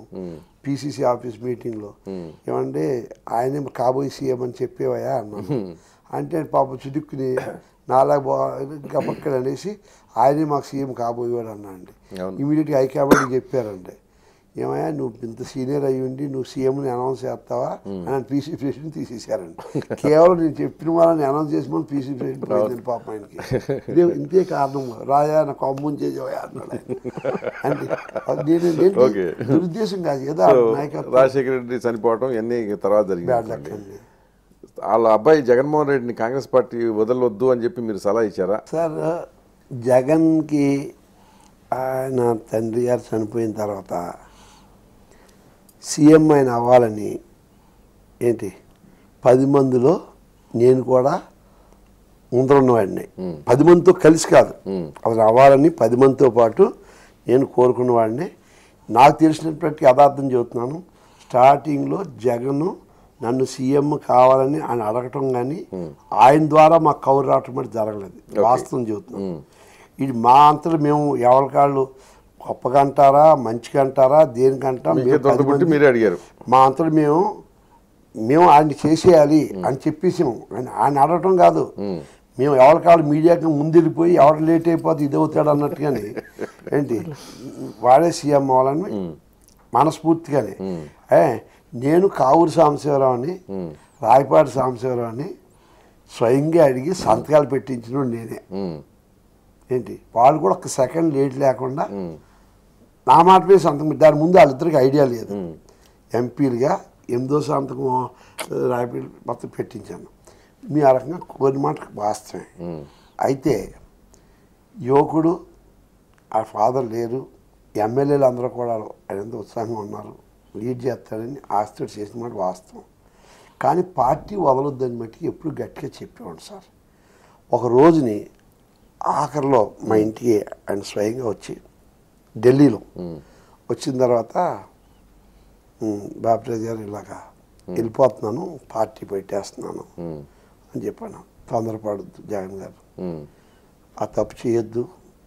ఈ కాంగ్రెస్లోనే ఉండాలి. మీ. నాన్నగారు ఆఖరి దాకా అలాగే ఉన్నారు. ఏమైనా మీరు ఈ ఆలోచన పెట్టుకోవద్దు. మీ. మీద కొంతమంది సాడీలు చెబుతున్నారు. ఈడో పార్టీ పెట్టేస్తాడు. మీ. సీఎం పదవి లేకపోతే రియాక్ట్ అవుతాడు. అతను మీద చాలా రకాలుగా చెబుతున్నారు. ఇవాళ మీరు పార్టీ పెట్టారనుకోండి మీ మీద చాడీలు చెప్పిన వాళ్ళందరూ కరెక్ట్ చెప్పినట్టు. వాళ్ళని మీరు సర్టిఫై చేస్తారన్నమాట. వాళ్ళు చెప్పింది ఇప్పుడు దాకా చెప్పి చాడీలు. మీరు కనుక ఇది కరెక్ట్గా కనుక చేస్తే పార్టీ వాళ్ళు యథార్థం చెప్పినట్టు. వాళ్ళదే ధర్మం అవుతుంది. తొందరపడద్దు. ఓపిక పట్టండి. పెద్ద సంస్థ ఇది. అని చెప్పి చాలా సేపు కన్విన్స్ చేశా. Okay. చెబితే లేదండి. ఏమన్నా ఇంక నేను చాలా ఊపి పట్టా నా వల్ల కాదు ఇంకా పెట్టేసుకుంటాను. అంట ఏమన్నారంటే బాపిరాజు గారు రెండు వేల పద్నాలుగులో మీరు నా పార్లమెంట్కి నా పార్టీ తరఫున కంటెస్ట్ చేస్తున్నారు. I will not allow you to hear I lift you ఇలా అని నేను ఎత్తిపోతా ఇంగ్లీష్లో I lift you shall lift you you contest from my party two thousand fourteen అంటే ఆమె ప్రేమతోటే కదండి అతను చెప్పింది. ఏ మాటకి ఆ మాట అనుకోవాలంటే. నేను అలా కాదు జగన్ నేను నిన్ను పార్టీ వదిలిపెట్టకపోతే ఇప్పుడు కోరుతున్నాను తొందరపడద్దు అంటున్నాను. నేను ప్రాణం పోతే పార్టీ వదిలిపెట్టేవాడిని కాదు. ఇవాళ లక్షా పంతొమ్మిది వేలతో నన్ను మా ప్రజలు గెలిపించారు. రేపు పొద్దున్న నీవేవు గట్టిగా ఉంటే రెండు లక్షలతో ఓడిపోవటానికి సిద్ధపడతాను కానీ. నేను నీ పార్టీ తరఫున నిలబడను. ఆ? నా మాటిను ఆళ్ళ మాట వీళ్ళ మాట నమ్మకు. వాళ్ళ ఫ్యూచర్ ఉంది. డైనమిక్ ఫెలో నువ్వు. ఎందుకు చెబుతున్నానని చెప్పి కాలించుకుని రిక్వెస్ట్ చేశా. చాలా మౌనంగా అగ్రెసివ్గా కాకుండా ఈ వాజ్ షార్ట్ ఎందుకంటే సీట్ అలా అన్నప్పుడు రెండు లక్షలతో ఓడిపోవటానికి నేను సిద్ధపడి ఉంటాను కానీ? నేను మట్టికి అవకాశవాదిని కాదు. కానీ నువ్వు ఇంత పెద్ద మనసుతో నా ఎందు చిన్న ఆఫర్ కాదు నువ్వు నీ తత్వం నాకు తెలుసు. ఇలాంటి ఆఫర్ చేసి మనస్తత్వం కాదు. నా మీద ఎంత గౌరవం ఉందో నీకు అర్థం చేసుకున్నా. కానీ నా తత్వం కూడా నీకు చెబుతున్నాను నువ్వు ఇప్పటికీ తొందరపడ ప్లీజ్ అని అన్నాను. అలా ఆలోచించుకుంటూ వెళ్ళిపోయాడు. నాలుగు రోజులు ఎక్కువ తీసుకున్నాడేమో నా మాట మీద తప్ప నాలాంటి వాళ్ళు ఒక నలుగురు పక్కన ఉంటే ఆయన పార్టీ పెట్టేవాడు కాదేమో అని అనుకున్నాను. అది మీ భ్రమ. సరే. అది కాదు. మీరు జీవితంలో నేను ఎక్కడా నయా పైసా ముట్టలేదన్నారు. నిజాయితీగానే ఉన్నారు కదా? నేను అలా అనలేదండి. నిజాయితీగా బతకడం నాకు ఇష్టం. ఆ. నేను ఎలక్షన్స్లో అది అది వదిలేసేయండి. ఎలక్షన్స్లో సందాలు తీసుకోవటం కాదు. అధికార పదవిని ఉపయోగించి. అధికార నా సంతకానికి ఒక రాగి పైసా ఇప్పుడు దాకా ఆలోచన రాలేదు సార్ తీసుకుంటాం కాదు ఓకే. మనస్తత్వం రాలేదు. కదా సో దానికి పూర్తి భిన్నమైన మనస్తత్వం జగన్మోహన్ రెడ్డి. అవునా. అవునా కదా? అంటున్నారు మీరు అంటున్నారు. నేనంటే మీరేమంటారు? చెప్పండి అసలు నాకు అర్థం కాదు. మీరేమంటారండి అసలు? మీరేంటి మీ అభిప్రాయాలు ఏంటి అసలు అభిప్రాయం ఇప్పుడు ఒక ఇండివిజువల్ గురించి మాట్లాడే అలవాటు గా ఒక ఇండివిజువల్ గురించి ఊరికండి మరీ to- మీకు లౌక్యం ఒప్పుకుంటా కానీ. ఇంత లౌక్యం అయితే ఎట్లా అసలు? అలా కాదు సార్. మీ కాంగ్రెస్ ఇప్పుడు పార్టీ మనిషిని ఇండివిజువల్గా గా ఒక వ్యక్తిని ఎప్పుడు కూడా మాట అనకుండా బతికాను సార్. కాబట్టి ఇండివిజువల్గా వ్యక్తిగతంగా వెళ్ళి చెప్తాను సార్. ఇండివిజువల్ ఇక్కడ. ఇండివిజువల్ కాదు. అంటాను కానీ ఇది వ్యవస్థ పరమైనది అయ్యా. ఇది వ్యక్తి కాదు అక్కడ. ఆ వ్యక్తి ఎవరున్నారని కాదు. సంబంధించి. సిస్టమే కరప్ట్గా ఉంది sir. Political system is corrupt నా ఉద్దేశంలో వాడు అనేదానికంటే మనకు మనం బాగుపడటానికి ప్రయత్నం చేయాలని. Self discipline is more rather than commenting others let me become more transparent in life and more clean in my political system నాకు చేసిన తప్పులు నాకే తెలుస్తాయి కానీ బయట కంటే. మీడియా కంటే ముందు నేను చేసిన తప్పులు అంతరాత్మ చెప్పాలి. అంతరాత్మ సాక్షిగా let me rectify my own system rather than talking about others అని I believe in it's okay. So ఫైనల్గా మీకు అంబిషన్ ఏంటి? అంబిషన్ వెంకటేశ్వర స్వామి గుడి వచ్చింది అది కూడా ఇంకా అంబిషన్ ఉందంటే ఇంకా దానికి అంతులు ఇంకా ఇంకా పాపం దీనికంటే పోస్ట్ పొందించుకుంటే- ఉందని ఏం అనుకోవట్లేదు సార్. అంతేనా? వెంకటేశ్వర అది దైవేకంగా వచ్చింది. సోనియా గాంధీ పుణ్యం వల్ల వచ్చింది భక్తులు కోరికతో వచ్చినటువంటిది. సామాన్య భక్తులు బాగా రావాలి రావాలి కోరుకున్నారు. పేదలకు సేవ చేసామా? పుణ్యం ఇక్కడ లాక్కొచ్చిందని సేవ అది కూడా మళ్ళీ సమాజానికి భక్తుల ద్వారా ఈ సేవ చేసుకోగలుగుతాం సంతృప్తి పూర్తి స్థాయిలో సంతృప్తి. ఇంకా ఇది నేను నిన్న ఇంకేదన్నా ఇంక ఫర్దర్ పాడ పదవి అడిగామంటే అది పాపం కోసం తప్ప దేని కోసం కాదు. దైవకంగా అంటే ఇచ్చింది నెక్స్ట్ లోక్సభ కూడా పోటీ చేయలేక? అది నేను అంటలేదండి నా చేతిలో పని కాదు. అది రాజ అది elections elections is different leader is there suppose ask me tomorrow contest చేయమంటే లేదు ఆ వేవ్ గట్టిగా ఉంది కాబట్టి ఓడిపోతాను ఓపెన్ హార్ట్ అంటున్నారు కదా సార్ మీరు. చిన్న తిరుపతిలో భోజనం చేస్తా. చెప్పమ్మా. సింతామోహన్ గారు వీళ్ళందరూ కూర్చొని భోజనం చేస్తున్నారు.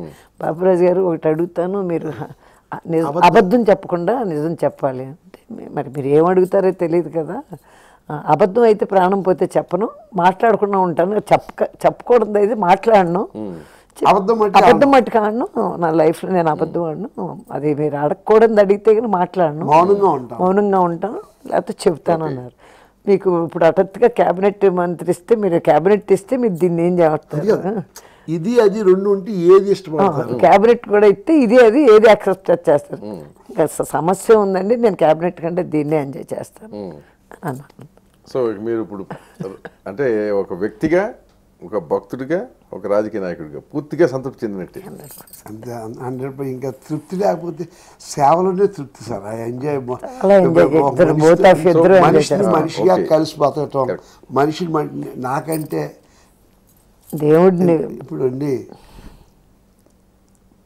బయట వాడిని గౌరవించడం ప్రాక్టీస్ చేస్తే మన ప్రాబ్లమ్స్ నైంటీ పర్సెంట్ ఉండవు సార్. అది అది విశాల దృక్పథంతో కూడినది. అసలు దానివల్ల అసలు ఇక సమస్య రాకుండా అసలు అంత గనక గొప్ప లక్షణాలు మనకు ఉంటే ఈ ఇవన్నీ ఎందుకండి? అందరికీ ఉండాలి కదా అని. అదే ఉన్నది ఉండాలి. సో ఇక మీరు ఆ స్వామి సేవలో తరించాలనేది మీ కోరిక. అయ్యా. సో మీ పిల్లలు ఏంటి రాజకీయాల్లో ఏమైనా వారసత్వం ఉందా? అది ఇప్పుడు దాకా నా కొడుకులు ఇద్దరు ఉన్నారయ్యా. కూతురు నా కొడుకు రాజకీయాల్లో ఇద్దరు కొడుకులు లేరు. అల్లుడు లేడు. డైరెక్ట్గా నాకు రక్తం ముంచుకున్న వాళ్ళు నా కూతురు భర్త కానీ నాకు నా కొడుకులు కానీ నా కోడలు కానీ రాజకీయాలు ఇండైరెక్ట్గా కూడా లేవండి. కానీ మీ కాంగ్రెస్ సభ్యత్వం నేను బయట నా కుటుంబానికి సభ్యత్వం తీసుకొస్తే. అంతవరకే తప్ప ఇండైరెక్ట్లీ కూడా we're not in the politics so ఇక వాళ్ళకి వచ్చే ఆలోచన కూడా లేదు. నేను ఎప్పుడు వాళ్ళని అడగలేదండి. వాళ్ళకి రావడానికి ఇంట్రెస్ట్ నాకు చూపించలేదండి. ఓకే వ్యాపారమే. వ్యాపారం ఇప్పుడు జస్ట్ ఈ రోజున అమెరికా చిన్నాడు. పెద్ద అబ్బాయి ఏమో పెద్ద. సామాన్యంగా ఫ్యామిలీలో బతికి ఇదే అయినాడు. సో మంచి is good human being. So నాకు ఫ్యామిలీ ప్రాబ్లమ్స్ లేవు సార్. ఓకే. Political. సో అట్లా అయితే ఆ రకంగా చూస్తే అదృష్టవంతులు. సో మీరు మిగతా మీ పదవీ కాలంలో అయ్యా. ఒకటి దేవుడి మీద ప్రజలకి అంటే భక్తులకి నమ్మకం కలిగించే విధంగా అయ్యా. ఆ టీటీడీని తీర్చిదిద్దాలని దిద్దుతారని ఆశిస్తూ thank you very much I'm really grateful sir I enjoyed your interview sir ఇది నిజంగా ఓపెన్ హార్ట్ లాగే ఉంది కానీ ఇందులో ఏమీ అరమరక లేనటువంటి డిస్కషన్ అండి. మీరు ఫ్రాంక్గా అడిగారు. కాసేపు సరదాగా మాట్లాడేసుకున్నాం. సరదాగా అంటే సార్ నిజంగా సరదాగా చెప్పారు సార్ మీరు. ఏ రకమైన ఇంటెన్షన్ కనపడలేదు. ఫ్రాంక్నెస్ తప్ప? చాలా సంతోషం. Okay thank you on my behalf my wife behalf